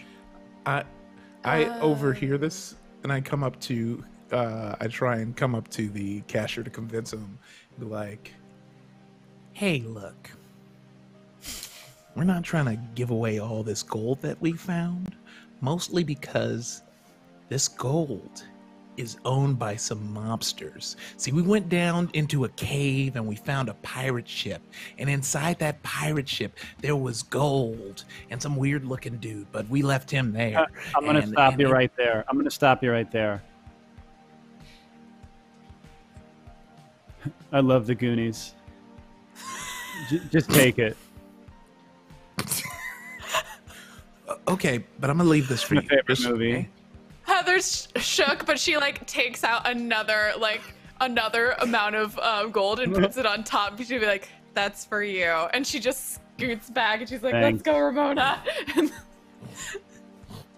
Cool. There you go. Um, you turn around and you walk out of the store, and as you do, you uh, accidentally bump into someone, and she goes, "Watch it, bozo!" And you turn around. And goes, Wait a minute, Heather. And what is it, Artemis? Artemis? Heather. Uh, You turn, it's Darla, Darla, and her, and she's with her friend Heather Tiffany, knew. who's also on the cheerleading squad. Yeah. So good to see I, you. I tuck away. I I tucks and cast runs Roll, out. roll, uh, roll is stealth. awkward. Roll stealth. I'm rolling stealth. I'm out of here. Let's All see. right, Go roll tuck stealth. away. I'm gonna roll stealth too. Oh my god. yes. What'd you got? Uh, I it I it's a uh 22. 22. Yeah, I rolled a 19. I rolled a 20. God damn. All right, you uh, you uh, as as you round, you see her as you round the corner. You duck back into the the neon mullet, and you just kind of start browsing through some clothes. She's, Darling, if you, what are you two doing here? Never seen you here. Are you guys still Uh, okay after shopping. ruining the play last the other day? Uh, I've never Heather's been giving better. me a makeover. You're shopping. Yeah, you, be- Yeah, bet you better super be fun. shopping. Your clothes are burned. Why are your clothes burned? it is the latest fashion. Haven't you heard of it, Darla? Yeah, you must be pretty behind, Darla. Uh, Wow, that's first of all, I know fashion, and no, that's not fashion. Whatever your mom wears isn't considered fashion. Sigmar, Sigmar. My mom is very well dressed and like I'm sure. super cool, not unlike your mom. So I mean, I agree. My mom sucks. good. So we agree. Your mom sucks. Mm-hmm. Yeah, she does.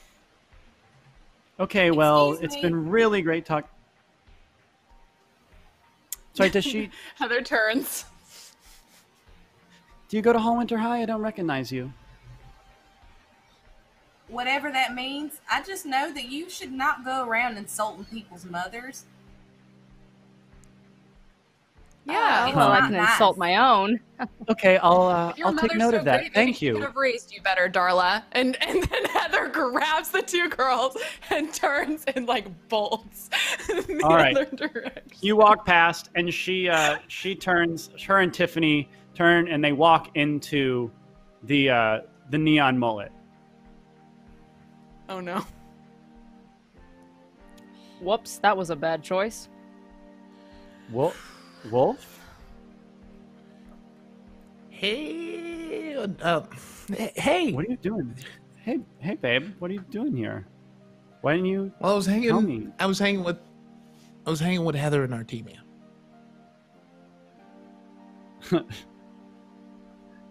Okay, sure. Why are you laughing? I, I, I didn't Wait, tell a joke. you are you serious? Yeah. What are you doing with those losers? Mm, I wouldn't call them losers, babe. Uh, they're pretty cool.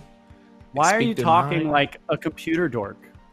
What's up with your voice? Because this is what I sound like. This is what I sound like. uh, Okay, There's it's no- not. Is this a joke? Yes, what is going is. on? Look, Okay, so stop. look. What do you want, Darla? What do you want out of life? Where do you see yourself in five Um, years? Five years, being the Yeah. most popular, hottest senior in college.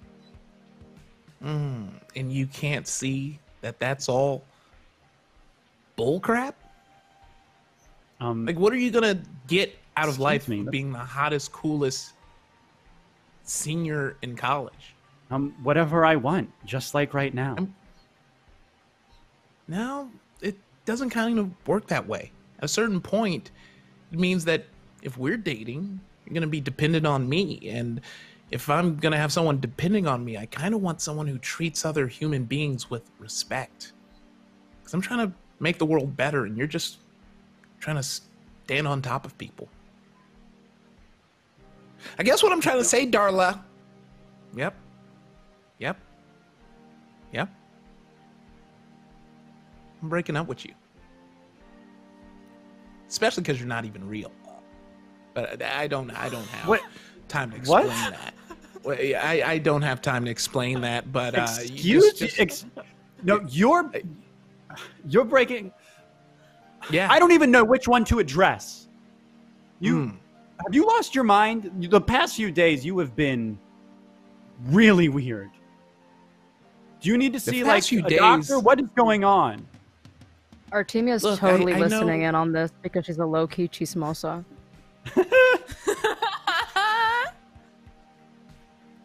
I I don't know. I just this past few days I've never felt more like me than I've ever felt. Uh, you know, and I as I look inward and see the things I want, don't want to be a football player, I want to be an engineer. Uh, and the people I want to be with aren't shallow, mean people. They're people who who stand up for what's right who always have an eye for good things and you know Tiffany, her friend Tiffany, goes, Artemia. her- Ti- Tiffany, uh, Tiffany, her friend starts to go.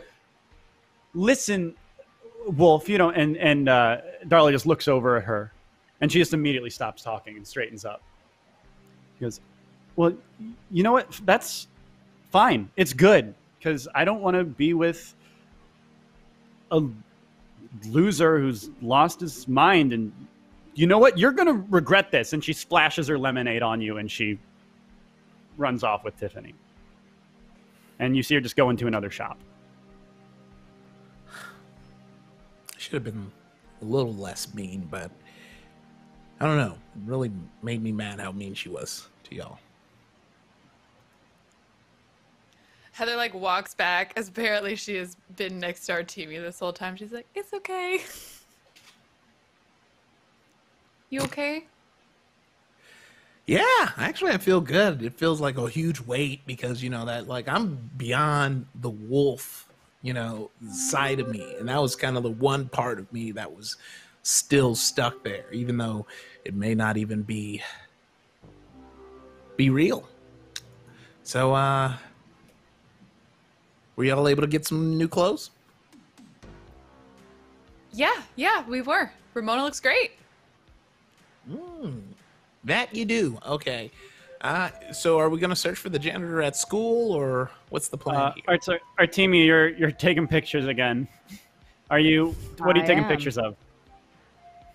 Just people, mannequins, horrible outfits, uh, water fountains that make no sense in the middle of a mall, and just uh, Perfect. you know, Your camera. Yvonne, your your camera operates as normal, but then you know you there's a, a couple holding hands walking alone through the mall, and you go to take a, a snap a candid picture, and you realize as you look through the viewfinder, there is just this ever so slight, like faint red outline that kind of like radiates from them, and when you snap the picture those lines amplify and they get humongous. And you see the couple uh, out of nowhere start to freak out and they look up toward the sky and they point up at nothing. There's nothing there. And they scream and they turn and they run the other way out of the mall.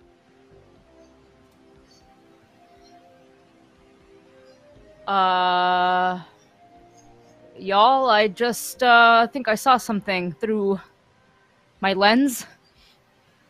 Um, there's a that couple, that couple that you just saw right up right up ahead. Yeah, yeah, they Yeah. ran out. It's real weird. Uh, yeah, we should uh chase them. Or, you know, not be too obvious, but we should follow them like right now. So they went that way.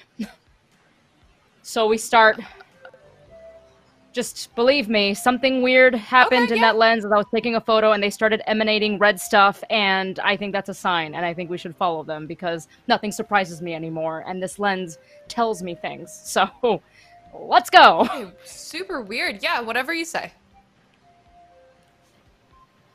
All right, so you uh, you run out you you kind of run outside, but by the time you you are outside the mall, Um, you see them hop in their car and peel out and and get away. Uh, Weird. Hmm. It's weird. Yeah. Well, it's very we'll keep an eye Lots out. Of weird stuff. Maybe keep u- using that camera, but I think we should try to go to school.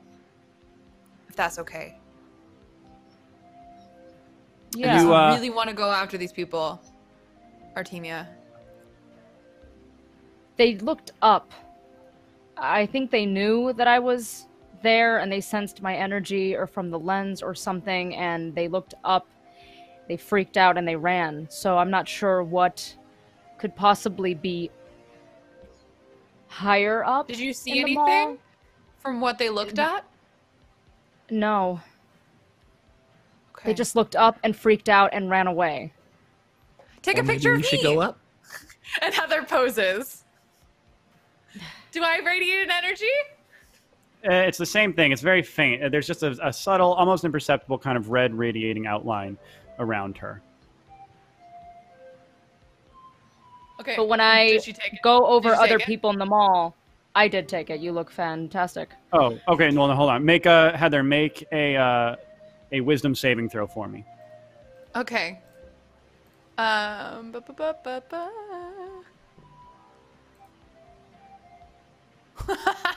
That's a two. That's two. a two. You um suddenly through the viewfinder as you take the picture, she begins radiating a huge, uh, huge you know red energy, and uh, Heather, you are kind of consumed by fear, and you you look up and you don't see anything, um, but you just feel like there is something absolutely dreadfully terrifying in front of you, and you feel the need to get away from it. Uh, uh, ah! She just turns and runs. Yeah. What the hell? Does everyone suddenly have the runs? I don't understand. I'm just really good. And Heather like is screaming behind her shoulders, like, I don't know what it is. I'm just really freaked out, you guys. This feels like magic or something crazy. And she just keeps running. I want to pursue Heather to find out what the hell she's seeing because I need answers, Yeah. damn it. I don't All right, see well- anything. I'm just kind of Wolf- scared. It's like a vibe. It's just a okay. Eventually, eventually, uh, after a few seconds, she calms down and uh, Oh, return. guys, you know, that was you kind of recon- weird. reconvene in the parking lot. I feel like your well, there camera's giving be a power. something. Yeah, but there's uh, I don't know what this whole thing is of people looking up and freaking out, including you, Heather. So there's some kind of evil aura.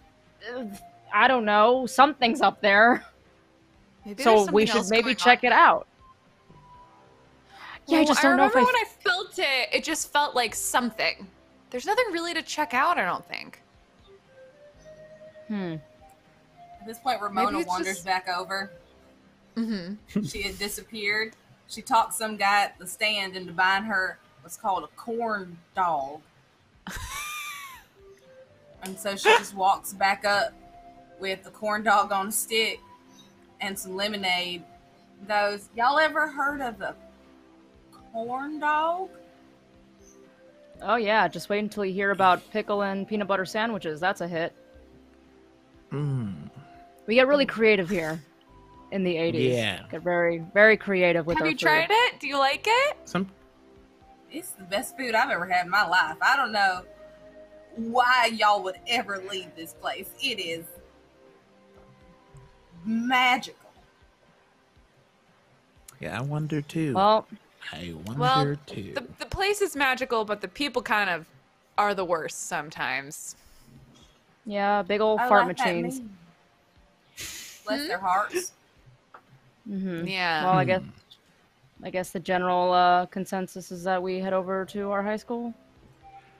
Yep. Yeah, let's uh Guess let's so. call another taxi. And Heather just like puts her hand back up. Wait. You're wait. now in a suburban. You're now in a suburban suburbia. parking lot. There are no taxis, and you realize that to uh, the high school would be like a couple, hou- not a long drive, but but a long walk, like multiple hours. Um, and uh, but but Wolf, you actually realize as after Heather ran away and you chased you, you're now standing next to what you recognize um, as Darla's yellow Porsche. And you remember that she Oh. keeps her keys in an outside pocket of her purse. Hmm. I mean, we can take Darla's Porsche, and it's going to be cramped. It's definitely going to be cramped, but you know, if she's not real, it's not really stealing. Ah, good point. I Let's don't do really it. love our moral gratitude right now. Um, it's not well, real. and neither does that dog, apparently, that's nearby. That's the reality dog. It's letting us know. It's letting us know that this ain't real. you know, if that's what you Um, feel in your heart, Daniel. I'm just petty, I'm aren't just saying I won't I'm be a really part of petty. it, but I also like won't stop you. I guess this is all really confusing. All right. Uh, we're gonna need someone sneaky to grab the keys, and I say that without breaking eye contact from Artemia. Oh, me. Yeah. You're so kind. Um, I'll do it. I volunteer. Alright, So you head Alright. back into the mall together. Well, I don't know. Does everyone go back into the mall? yeah. Sure, we stick together. Okay. Squad for life. You all head back into the mall, and after some searching, you find uh, you find Darla and Tiffany shopping in Sears. Just looking at Mhm. clothing She's on not the even- wraps, and she's got her purse on her, even- her right shoulder. I just broke up with Well, her, okay, and she's not let's- even crying. She definitely isn't. Let's real. huddle up here. That's all I'm saying. Should we like distract her or something? Mm. Yeah. I mean, you know her best. What distracts Darla, Daniel? Aside from shiny things. Heather. Uh, gi- give me your hand. Uh, uh, okay. And she gives she gives him his hand, or he she Uh, gives him her hand. And She's like, uh, he then uh, grabs her hand and then walks by Darla while holding hands with Heather. All right, as you walk by, and you notice as uh, as Tiffany taps Heather on the shoulder and points over, um, and they both just turn and watch as you walk by. Artemia, are you sneaking up behind to steal the the keys? What are you doing? Yes, I'm so I'm trying to. All right, roll um, roll s- sleight of hand with advantage. Trying to find. Okay, here we go. Sorry, my. All right. Oh, yike. Uh, I have 11, but do I have inspiration? I'm not sure if I used You have it. you, you're already you're already rolling with advantage, so roll again. Okay. 21. Oh, that'll do it. So as uh, as Wolf and Heather walk by holding hands and they're watching, um, you just sneak up and you carefully unzip the side pocket of her purse and you sneak in, you pull out the key and you scurry off without them having even the slightest clue that you were there. I am very sneaky. Very, very sneaky. You guys just, regroup like, outside of here. Heather like laughs and is like, Wolf, you're so funny, and like keeps going.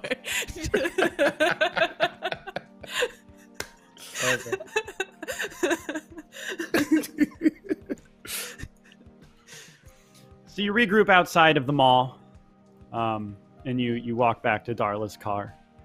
Um, it is a coupe, so you uh, you pull the most um, outrageous clown car uh, job that you can with who's driving. Um, By the way, I, I assume I, I have my license and can drive, so I'll drive. All right. So Wolf, Also, she's Uh, let she's let me dro- drive. She she's she's let me drive her Porsche before. Okay, cool. So you hop in, and then the three of you all um, kind of oddly pile in. Do you want to try to cram into the seat, or does one person want to like hop in the trunk? How do you want to fit into this car? Uh, hmm. I mean, I, I'm pretty sure I'm the shortest, at five feet tall. And I know we're not that far from the high school, so I won't get car sick if I go in the trunk. I'm used to it. They always toss me in the trunk. Artemia hops in the trunk and closes the door. and then uh, you two kind of double buckle in the, the passenger seat, Heather and uh, and uh, why am I blanking? Why am I blanking? Why am I blanking? I know your name. Chris- Tell me her name. Oh, um, it's uh Ramona. Ramona. Ramona. Thank you. I'm sorry about that. Um, so Ramona and Heather are just like double buckled in the front. Our team is in the back. Um, and Daniel, you shift into gear, hit the gas, and and head out. and you begin driving toward the high school. Um, Heather, though, as, as you're riding and you're looking out the window, you realize that uh, the route you're taking, you're actually going to be passing your house like any second. Oh my gosh, we're gonna be passing my house any second. Can we stop? Do you Can need we stop? anything? Yeah, yeah, of course, of I course. mean, I don't know. I, I, if this might be the last time I see my family ever again, that's kind of fake, but like real to me. yeah. So, So you we pull stop into the my house. driveway. Y'all are confusing. Like, What was that? Has anyone ever told you that y'all are confusing? Not directly, but I, I, I can understand how that would be. Yeah. Yeah, no, this is a lot to take in, but I, I promise things will only get more confusing. So, buckle up, maybe? You pull into the driveway and open the garage door, head in through the side door. Um, and as you enter, your dog kind of runs up and kind of greets you and is really excited to see you. She pets his little Yeah. fuzzy curly ears. She's like, hey, Um, buddy. you walk into the kitchen, uh, and your dad is in there and goes, Oh, hey, Pumpkin. Your friends Hey, walk Dad. in. He goes, Oh, you've only ever brought Heather one around. Though I must say, you're the number one Heather in my book. Are these your Thanks, friends? Dad. Yeah, the, the we're working on a project together. Oh, that's great. I uh, I'm making pancakes. I'll make you all some some as well. Oh, that reminds me. I got a phone call from Principal Kenner. Did Did you get detention today? Yes. Yeah, I did. It was What an happened? accident. There was a food fight, and it was kind of irresistible. But I'm really sorry, and I won't do it again. Oh. That's at least it's just a food fight. That's okay. Did, but why did you start it? No, but everyone left as soon as they saw the principal walk in, and I didn't see him, so I kind of got blamed for it. That's bad luck. Hey, is that my guitar in there? I thought you weren't interested. Oh, yeah, I I changed my mind. Well, I'm glad to hear that. Yeah, take Thanks. it. Take it anytime you like. Thanks, Dad. Uh, so yeah, those uh, those pancakes should be ready in uh in a few minutes. So make yourselves at home and uh, get get to your project, Thank I you. guess. Thanks. And Heather like tries not to cry and like kind of like turns and like ushers them towards her room. I guess. um, to, Um, or you at least to the- maybe the... living room to wait for the okay, you head into the living room. A few moments later, your dad uh, your dad comes out and he goes, "I hope you don't mind. Since it's fall, I made pumpkin pancakes for my pumpkin." And then he gives you know gives you all the pancakes. And Tia goes, "I'll I'll leave you kids alone." Sorry. Thanks. And Heather like sets down the guitar next to her and she like just stares at the pancakes, but she doesn't eat anything. Your dad's really nice. Yeah, he is. I don't know what to believe anymore. I think uh I think you uh believe what's in your heart. But if I believe what I what's in my heart, then he's not real. Mm. Like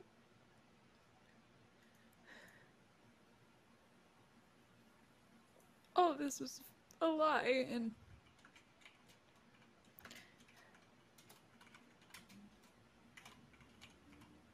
I just don't want my parents to not be real, you know.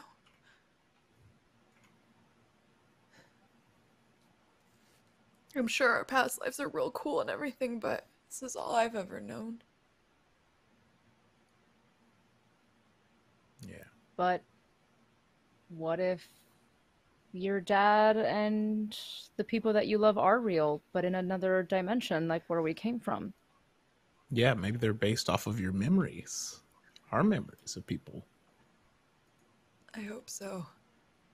But I really just don't know anything anymore, huh? You're not alone. Thanks. I know we've only known each other for a little while, but you seem real nice, and I don't know anything else that's going on, but I know one thing that's real. Real or fake, your dad makes real good pancakes, Thanks. and that's something you can believe in because you can taste it.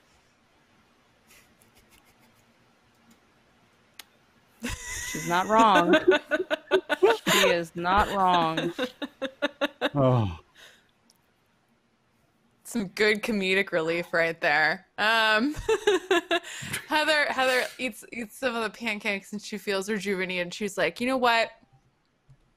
We need to save that world because that's what my dad will want me to do. And she like gets up and she grabs the guitar and she's like, let's get to that school. She's like, Let's go. and she and she gives her dad a hug on the way out. She's like, I love you, dad. love you. You heading out? Yeah, we got something to finish up at school. All right. He, he goes and he opens the door for you all. He looks out in the driveway and he goes, "Oh my gosh, that's a Porsche 928 GT. Whose is that?" It's it's Well, my my friends. They're letting me borrow it. Oh man, how do you like it? Oh, it it drives like a dream. I'll have V8 engine. Hmm. Mm. I think. Do you know? I think it gets up to 330 horsepower. That's what I I read. Is that? I know it's not your car, I guess. Do you? But do you know? Is it? Uh, yeah, yeah. I mean, it it, it feels like it. Now that that double wishbone suspension has a, a unique toe-in stabilizing effect. It handles like a dream. I hear. Ooh, yeah. Oh, anyway, I'm I'm uh, I'm babbling. All right, I'm sorry. Uh, I'll I'll let you kids go. Hey, Um, hey, uh, yeah.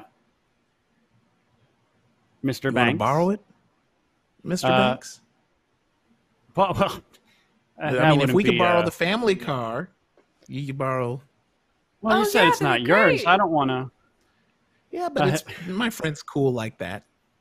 Oh, well, if you don't think they'd mind, Yeah, let's. you can take the station wagon. Okay. Oh, that'd be even better. That way Artemia can have a seat. Oh yeah, how'd you That fit in there? nice.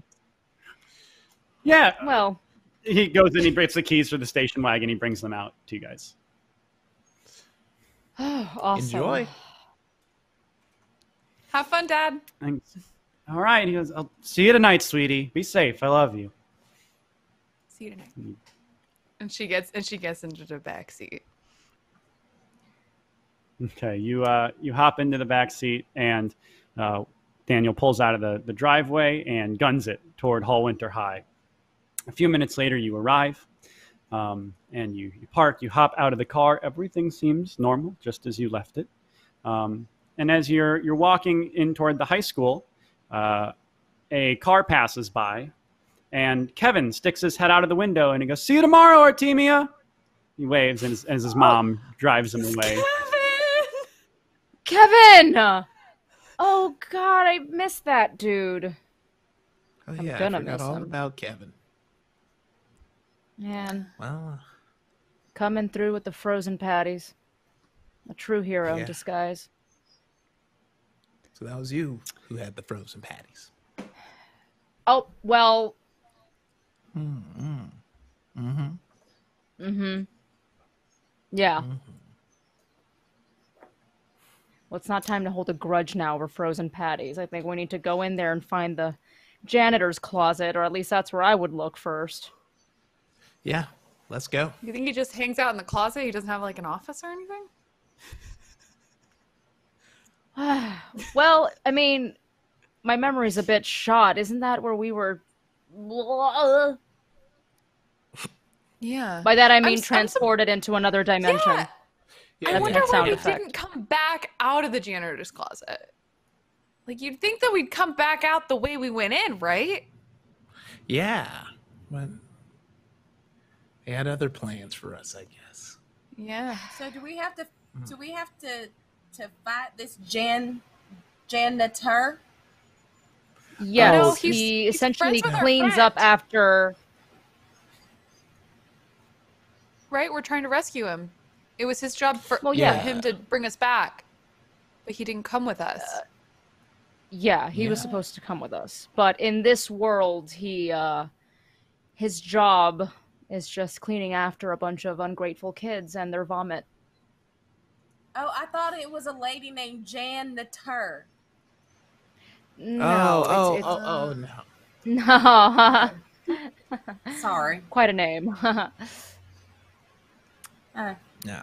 all right. Wh- what would you say he usually wore? Daniel, Heather. I mean, it was like lots Like of keys. jumpsuit. Jumpsuit? jumpsuit, usually of the khaki kind, Yeah. And the khaki uh, origin. lots, lots of keys hanging off his belt. Wasn't he older? hmm Pretty old, right? Yeah. I'm just gonna follow you wherever y'all go anyway, so it don't really make no difference. Okay, Okay. So So let's let's, go. go. look. let's go. Right, You enter Hall Winter High.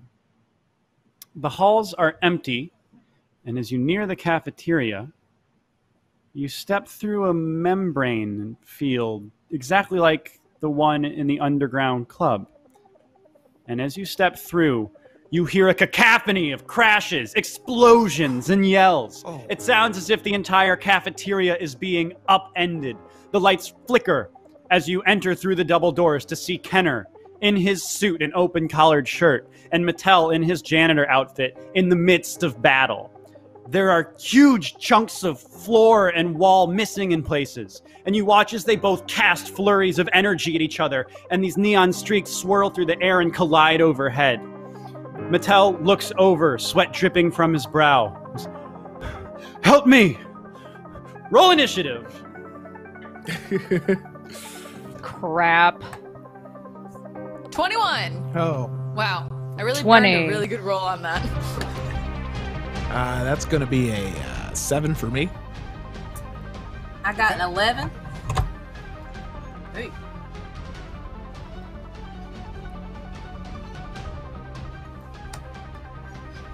You run into uh, the cafeteria, kind of uh, near Mattel, and Kenner s- looks at you all and smirks, and he extends his hands up to the ceiling, and suddenly from the uh, the sprinkler system, water spurts out and then freezes into a swirling vortex of freezing cold all around you. And I need uh, let me see. I think I need each of you to make a. Uh, da, da, da.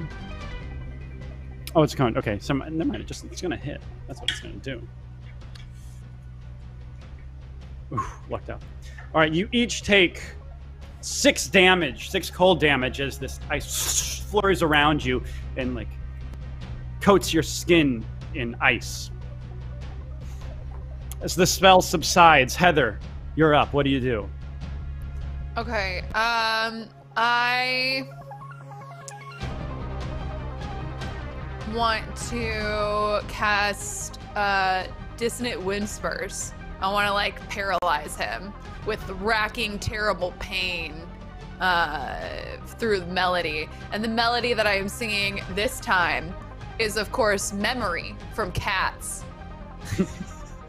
Okay. bringing it back to our first conversation with with Daniel. And she's like,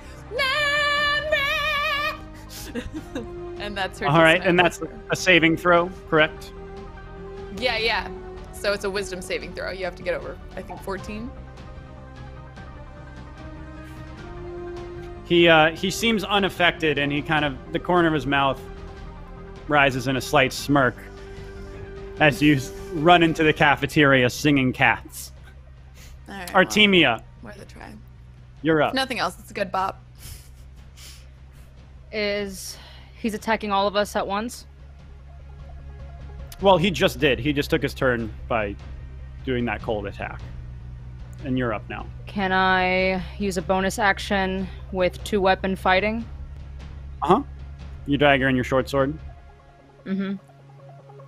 Yeah, just only add your your uh, modifier, your plus to the first attack. So go ahead and roll to hit.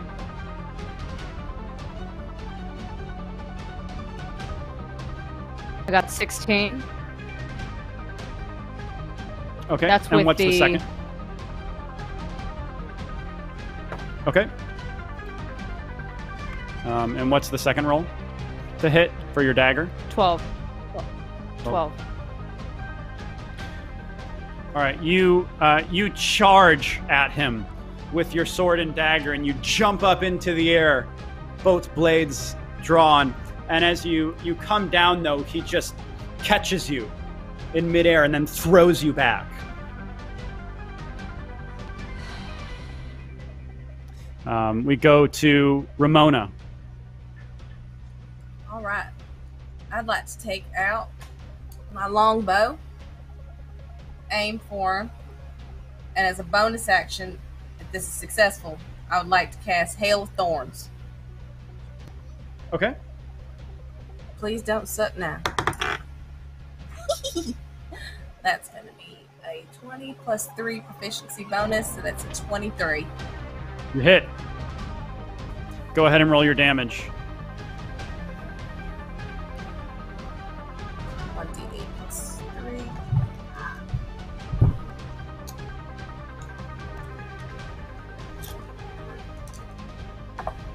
Six of eight. Nine, that's nine points of damage.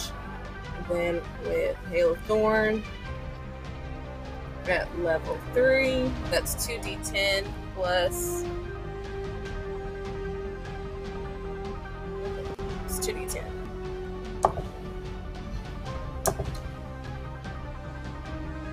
So that's 13 points of damage plus 6. Right. So 13. So six and 13. Okay. Mm-hmm. Or is it 13 total or 13 plus six? 13 plus 6. Okay.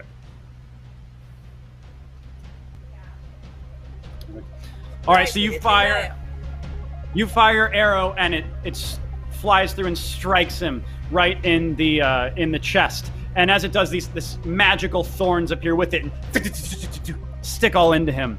And he now, his shirt is kind of coated in blood with these huge thorns sticking out from all around his body. Uh, Daniel, you're up. I look upon this person, and yet, even though I do not recognize them, a rage burns inside me so. So Daniel looks at him and says, Isn't it our principal? "I- Oh, yes.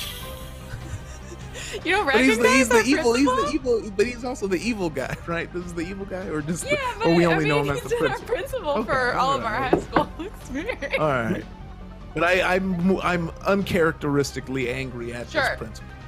Yeah, yeah. I- You don't I even know him new burning. anymore. Yeah, yeah. It's like I don't even know you. It's not even Look like I know. I'm sorry, but I can't let you hurt our soon-to-be friend. I really don't know him. We kind of sent us into another portal, never said anything to us, but I can't let you hurt him. And so I, um, I swing my blade, but I am also casting booming uh, blade as I uh, swing. Okay. Uh, ooh, that's what I like to see. Uh, and that's going to be for um, uh, 25 to hit. All right. Go ahead and roll damage. All right, so I'm gonna roll first. I'm gonna roll damage for the sword, Okay. which is I'm gonna just use this thing. And that's 11 damage for the sword hitting him. And then for the booming blade, that's going to be six.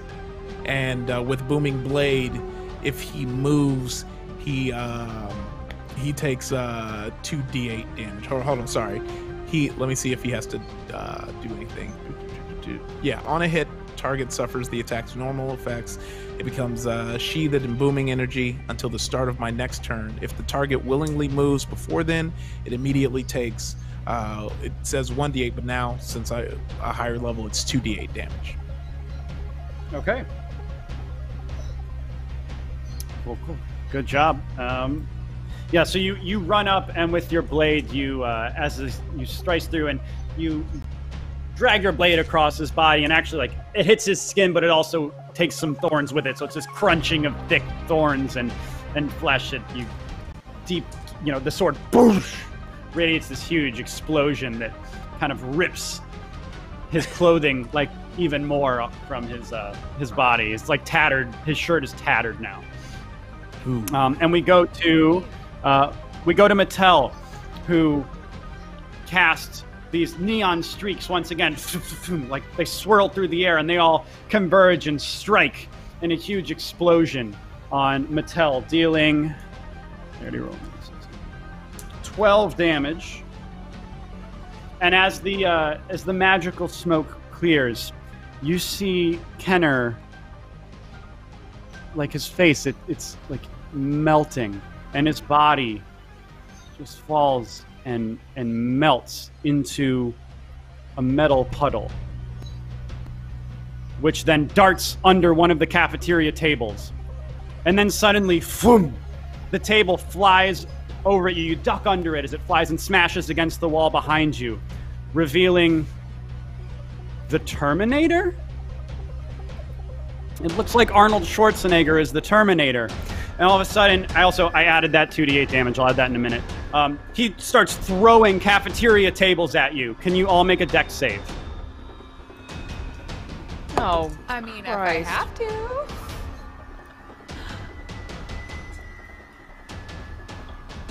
That's a 15. What? Well, sorry. What am I rolling again? Dex. Dex. Dex. Okay. Thank you. 17. I added 12 for dam- 12 damage from moving, Ify, by the way, from your booming blade. All right. Uh, Dex. That's going to be 13 for me. Uh, okay. Um, so the save was was 15. Um, so if you rolled 15 or higher, um, you you manage to dive. You only take five damage as the table kind of clips you. But otherwise, um, this table just poof, decks you and knocks you back. Um, just gets clobbers you in the in the body, just knocks you back uh, onto the ground, um, and deals 10 damage. Oh. He, uh, the Terminator stands and the Terminator stands and he glares at you. And we go to Heather. You're up. Okay. It's getting serious. Heather's never seen the Terminator, but she's like seen who Arnold Schwarzenegger is. So she knows this is a man not to be messed with. So she's gonna go for her a- acid arrow because that's given her the most damage thus far. And also, she's just real mad at this point at this man who like essentially caused her to have like her first broken heart from Darla and like also all this stuff with her dad. She blames him for everything. So she's gonna throw um, the acid arrow, and that is a 16. The arrow flies and just his his head as you shoot it. He just goes. But is it possible even for me to have used my inspiration here? Uh, you have to use it before I give you the the result. you have to, you have to decide before you're told. Uh, but I did. I Use it didn't next round. Bitch. Fine. Well, you got to roll before you tell me. Um, Uh, all right, we go to Artemia. Oh, I think uh, Jenny might be having some some of those lovely internet I hear you. Can you? Okay, cool. Um, what would you like to do? So you're cutting in and out, but it, it's because this battle is so intense that my senses are going in and out. uh, but I'm assuming you're asking me what do I want to do, and uh, is there anybody attacking me directly right now, or is, is someone in well, more the trouble only than I foe am? is uh, not at the moment. the only Terminator. foe is yeah, Terminator. Okay. Just gonna have to. I mean, it's the Terminator. I can't just come at him with one weapon, so I'm, I'm gonna do the same thing again, see if I can get better at it. Uh, Alright. Bonus action, two weapon fighting. Mm. Go for it. Roll the hit.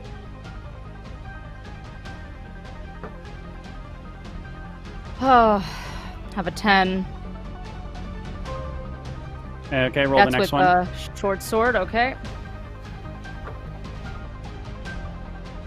What in the hell? I got another 10. All right.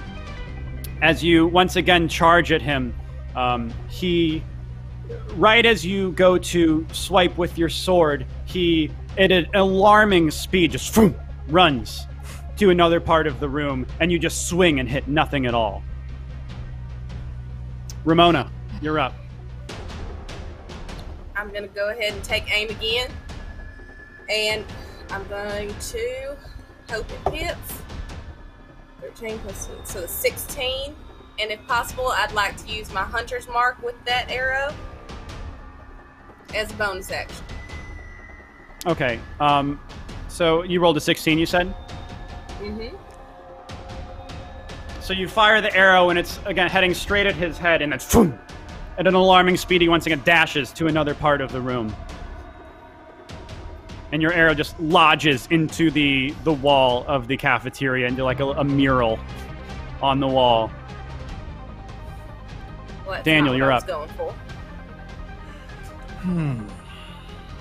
All right. Seems like you haven't learned your lesson and you need another booming blade. So prepare to feel my wrath yet again.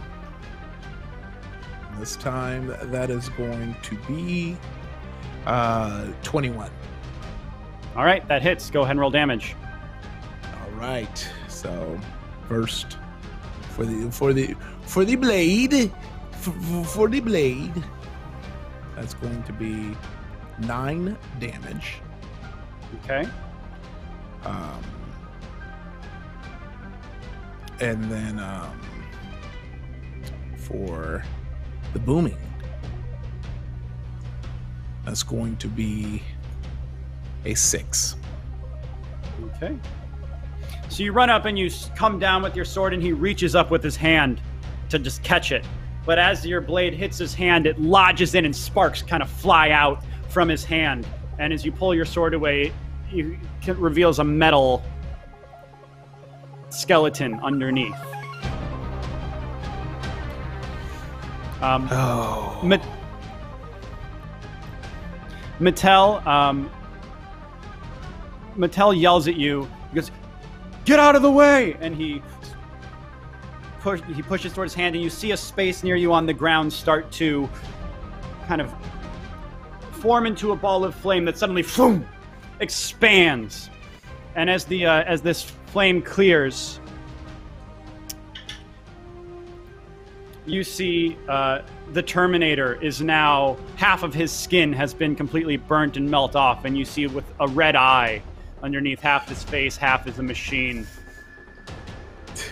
Um, and the the Terminator then dashes up to Mattel and grabs him by the neck, picks him up, and just smashes him down into the the ground, and the tiles shatter, and it creates a little mini crater. He then takes one of the cafeteria tables with one hand and just smashes down on on uh, on Mattel repeatedly. Uh, suddenly, he stops and he turns and he looks at all of you, and the lights go out. You then suddenly the lights come back on, and you find yourself in a boiler room illuminated by an eerie red ambience, and steam bursts from the pipes throughout the room. Oh. It's just you four. okay. Um, Are we in a hot springs? No, it's I don't. it's like Think a, it's like a dungeon at the bottom of our school, maybe. Yeah. Was that one of those robots y'all were talking about? Actually, Uh, yeah. yeah, Yeah. yeah, Yeah. Yeah, yeah, it was. Great, I great don't guess. like 'em. Yeah, that one probably no. Wolf. You feel like you hear a clanking behind you, and then you turn around just as a man with a uh, wrinkled face and a hat with a striped red sweater and long claws off of his fingers makes a swipe at Oh, you. No. You instinctively jump back as his blades just miss you. And it's Oh, now no. Heather's turn. Okay, I don't think this Oh. counts as an action, but I would like to do pull out my guitar and I Mhm. I play a chord and I and I use inspiring leader and I um, choose up to six allies. So it's myself, uh, Daniel, Artemia, and Ramona. And I say and Okay. and I say, um, essentially like listen, we're gonna have to f- probably fight a lot of fake characters that are from movies and TV right now. But we're here for a reason, and I truly believe in us. We're gonna rock this world and get back home wherever that is. And uh, and so with that, I'm assuming I can do this. Uh, each of us gains a temp nine health um, per short rest. So you can all add action, right? Or it does. Um, uh, it, it it's not- technically does, but okay. um, but you can. Uh, you didn't get to do anything last turn. Just go. Just go ahead. We're we're, Okay, we're having fun here. okay, we're having fun here. We're just having like a lot of fun. Okay, well then then I would like to cast uh another another ac- a- acrid acid arrow. Okay. Uh, Roll to hit. Yeah. Ooh, yeah. 24. That hits. Nice. And it's going to do 14 damage. She's like,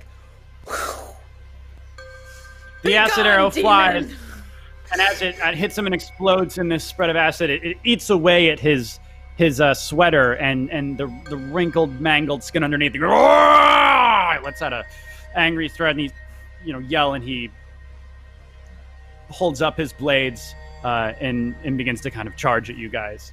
Artemia, you're up. What do you do? Oh, well, I'm kind of fangirling right now because it's, it's it's him. I'm so excited. But you're also gonna try to kill me, so screw you. Okay. Um.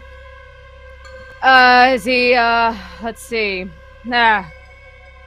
I can't do all that fancy healing stuff or anything like that, so I'm gonna have to go with uh, short sword. Okay. Go ahead and roll to hit. 22. That hits. Sorry. Roll damage. Sir, I love your work. I do. Damage is uh, seven. All right. You you take your sword and you uh, you do one swipe and you n- cut his hat right in half on top of his head, and then you stab into him, into his body, and he lets out another cry and uh, once again you know threatens with this blade, kind of. Uh, not so much in an attempt to kill you efficiently, but more so just be terrifying before he hurts you. Uh, Ramona, you're up. Is, uh, is he distracted and not looking at me at the moment? Uh, yes. Perfect. So I want to try and sneak my hunting trap into where he will step next, stealthily, Okay. if you will. I Sure. would like to try and put it down, and he's going to need to succeed on a DC 13 dexterity saving throw or take 1d4 piercing damage and stop moving. Okay, sorry. What was the the? It was a dexterity saving throw of. 13. Oh, big fail. So he uh, he steps into it. So he uh, he rolled a two. So you throw down your you throw down your trap in front of him as he is charging at Artemia, and goosh, his leg gets caught, and he lets out a scream, and then suddenly you all uh, how much damage was it? Sorry, I want to make sure I get this right. It's 1d4. Uh, And do you want to roll that? Uh, stop. Yeah. Okay. 1d4 piercing damage. Okay. What? Almost dropped it, but I didn't. Alright, that's two. damage. All right. He lets out a a cry, and then suddenly, boom, the lights go out again, and you all wake up on the floor of the cafeteria. And as you again rise to your feet, you see that uh, that uh, Kenner is still over Mattel, but he now is in the form of Freddy, still. Um, and he had you in a, in a dream state. And now we go to uh, Daniel. He's got he's still on top of of Mattel. What do you do? Uh, how close is he to me? Um, he's within thirty feet. Okay. So, that, so would my action reach him, or would I need to move near him to make an action? You're at, you could reach him. Okay. All right. So then I get up and I stare and I say, I am so sick and tired of people messing with my reality. And he comes down with another booming blade. All right. He likes that booming blade. I'm a fan. It's uh, really great. Yeah, it's a good cantrip, but this does not hit this time uh, because I swung for a um, let me see, um, twelve. Twelve. But you have so as- inspiration. you do. Oh yes, oh yeah. So I'll use inspiration to see if I got. I keep forgetting I have it. Oh, this I one is too. much better. Thank you, Kelsey. Yay! And that's a nineteen. That hits. All right. So we're just going to roll this one. And that's going to be eight damage with my longsword and with the spell itself. It's going to be six.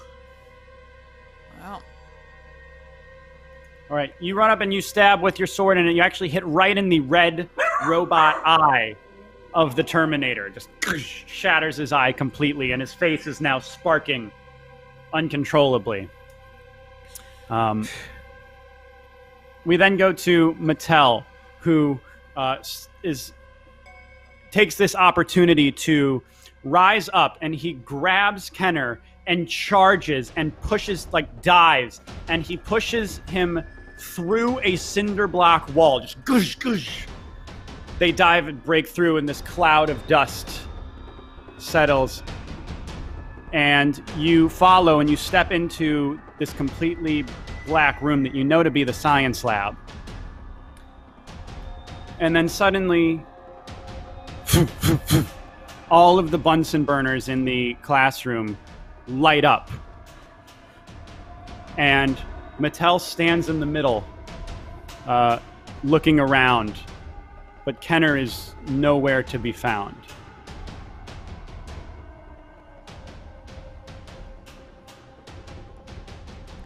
Are you okay? He uh, he kind of he shakes his head yes, but he looks incredibly beat up. Um, Uh, does that can uh, let's see, can someone can actually can you all roll perception?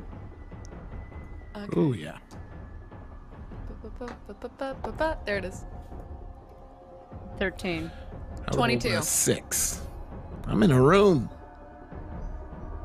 Heather, you Heather, you walk in first and you go, "Are you okay?" And as you walk in, you hear a faint growl. And you you all look up to the ceiling and glistening uh, in the in the flickering light hanging on the ceiling is a horde of xenomorphs. And they all drop down and begin attacking each one of you with their tails and their bites. Um, Wolf, you're gonna. Oh, uh, I think. Everyone gets hit. All right, so they, they this swarm of xenomorphs drop down and begin thrashing into you, dealing. Oh boy. 18 Oh. damage each. They dig into your flesh and they cut you with their razor tails. Um, Heather, Heather, there. What do you do? Um, I look around and I ask my friends who's the most injured. Uh, Who uh, who looks the worst? What's everyone got right now? Who's the most? Who looks the worst right now? I'm at 20 hit points. I'm at 23 out of I'm at 28. So y'all take care of yourselves. I got this. I'm at Jenny? 45. Okay, I I cast healing word on myself, and uh, so I'm gonna do that, and I'm gonna heal five of my own damage, and then I'm gonna see if I have a bonus action. I can I as a bonus action like hide behind a, a thing, like a maybe like a desk or something, to just get Um, myself out of harm's way. Yeah, yeah, absolutely. You can disengage Okay. and, and do that. Yeah, cool. I'm gonna disengage and do that. Cool. So you do that, um, and then as that's happening, um, Artemia, can you make a strength roll for me? Yes.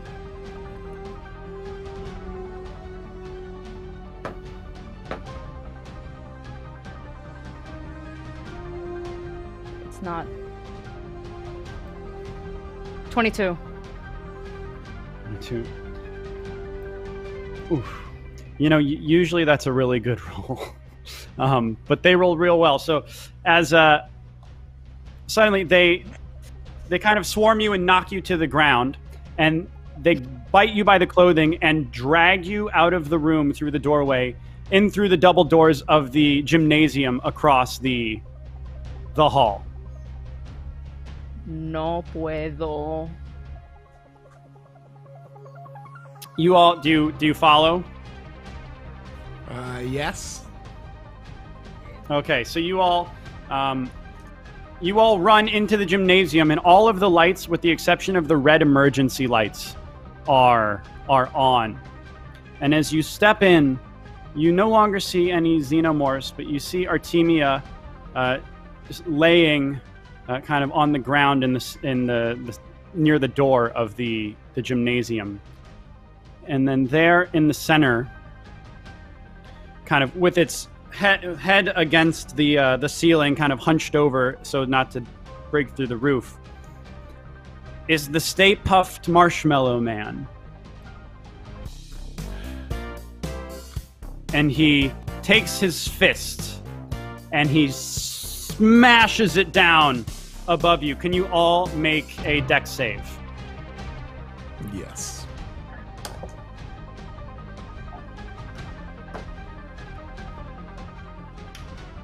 Twenty-six. That's going to be 18. Um, I didn't. Did you say so, Kel? What's yours, Kelsey? Oh, I can't hear you, Kelsey. 23. Sorry.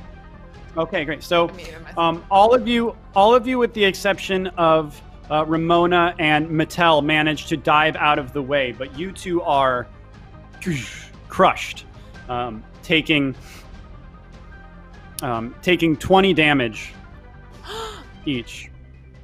oh. and then um, suddenly, uh, as the as he as he punches down, there's a humongous cloud of dust as this crater is made in the ground. Um, and as the dust clears, uh, Mattel and Ramona are both on the ground, barely moving. And Kenner is back in the center of the gymnasium in his human form, with Heather's dad next to him, frozen mid pancake bite. I hope you don't mind. I thought your dad might be interested in your extracurricular activities, Heather. Now, I don't want to hurt you. This isn't your fight. And he reaches out his hand, and suddenly Ramona is healed 20 HP and gets up. So,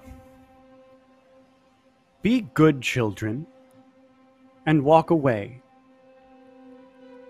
And if you try to stop me, I will kill your father. Kenner walks up to the crater with Mattel's lying motionless. Uh, still breathing, still conscious, but motionless. And he places his hands onto Mattel's chest. Kenner's hands turn to light as he plunges them into Mattel. And you see particles start to crawl up Kenner's arms and circle around his body, and you realize that Mattel is quickly disintegrating. Mattel lets out a cry as you see him muster his last bit of strength. He lifts his hand, clenches his fist, and then motions violently towards you. As he does, you see a rift in reality, reality hurtling up from the basement below, devouring everything in its path. It flies right at you, and before you can react, you see reality start to collapse into a single point in front of you. The last thing you make out is Kenner channeling Mattel's dissolved body into a glittering black jar and then blinking out of existence. And you begin falling through blackness. Infinite blackness. Up becomes down, left becomes right. You no see no colors at all, yet you see every color purely in your mind. You hear horses uh, whinnying, you hear swords clanking, and you're falling just as you did before through the same rift that you did at first, and then suddenly. Nothing. You open your eyes, and you're in the same town square where you first arrived. You're sure of it. The layout is exactly the same, except you're sitting on a bright green lawn, and you look around. You look around and realize it's now a park with a water fountain in the center, and there are benches all around. The surrounding buildings are now made of stone, brick, and concrete. And in particular, you notice an old man in an Adidas tracksuit sitting on a nearby bench. He stares straight into your eyes and, without breaking contact, begins to stand. As he gains his footing, he points a shaky finger at you, opens No, his don't mouth, and it. says, Don't you do it.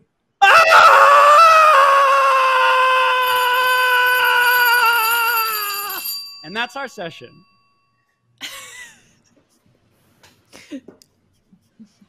Well, Mitch, you did it again.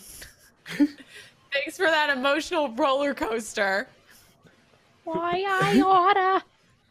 Final episode next week. Yeah, so the finale is next week. Thank you so much, uh, Krystina, for being here and for playing with us. I loved meeting Ramona. So much fun trying to navigate the 80s.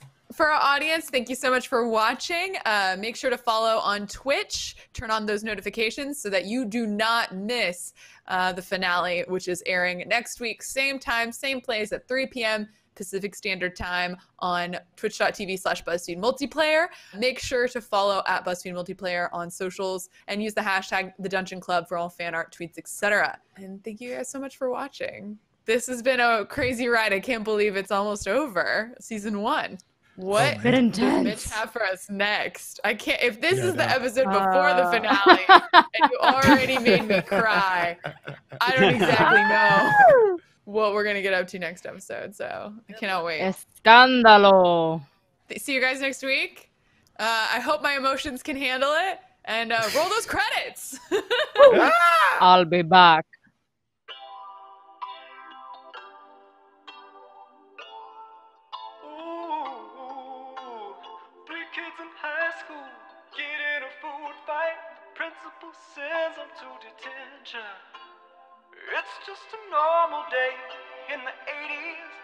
Something I didn't mention. See that old janitor starts acting weird and he throws them all in a closet.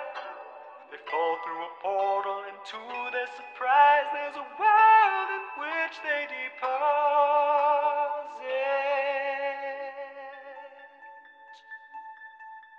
Oh, yeah. Alright.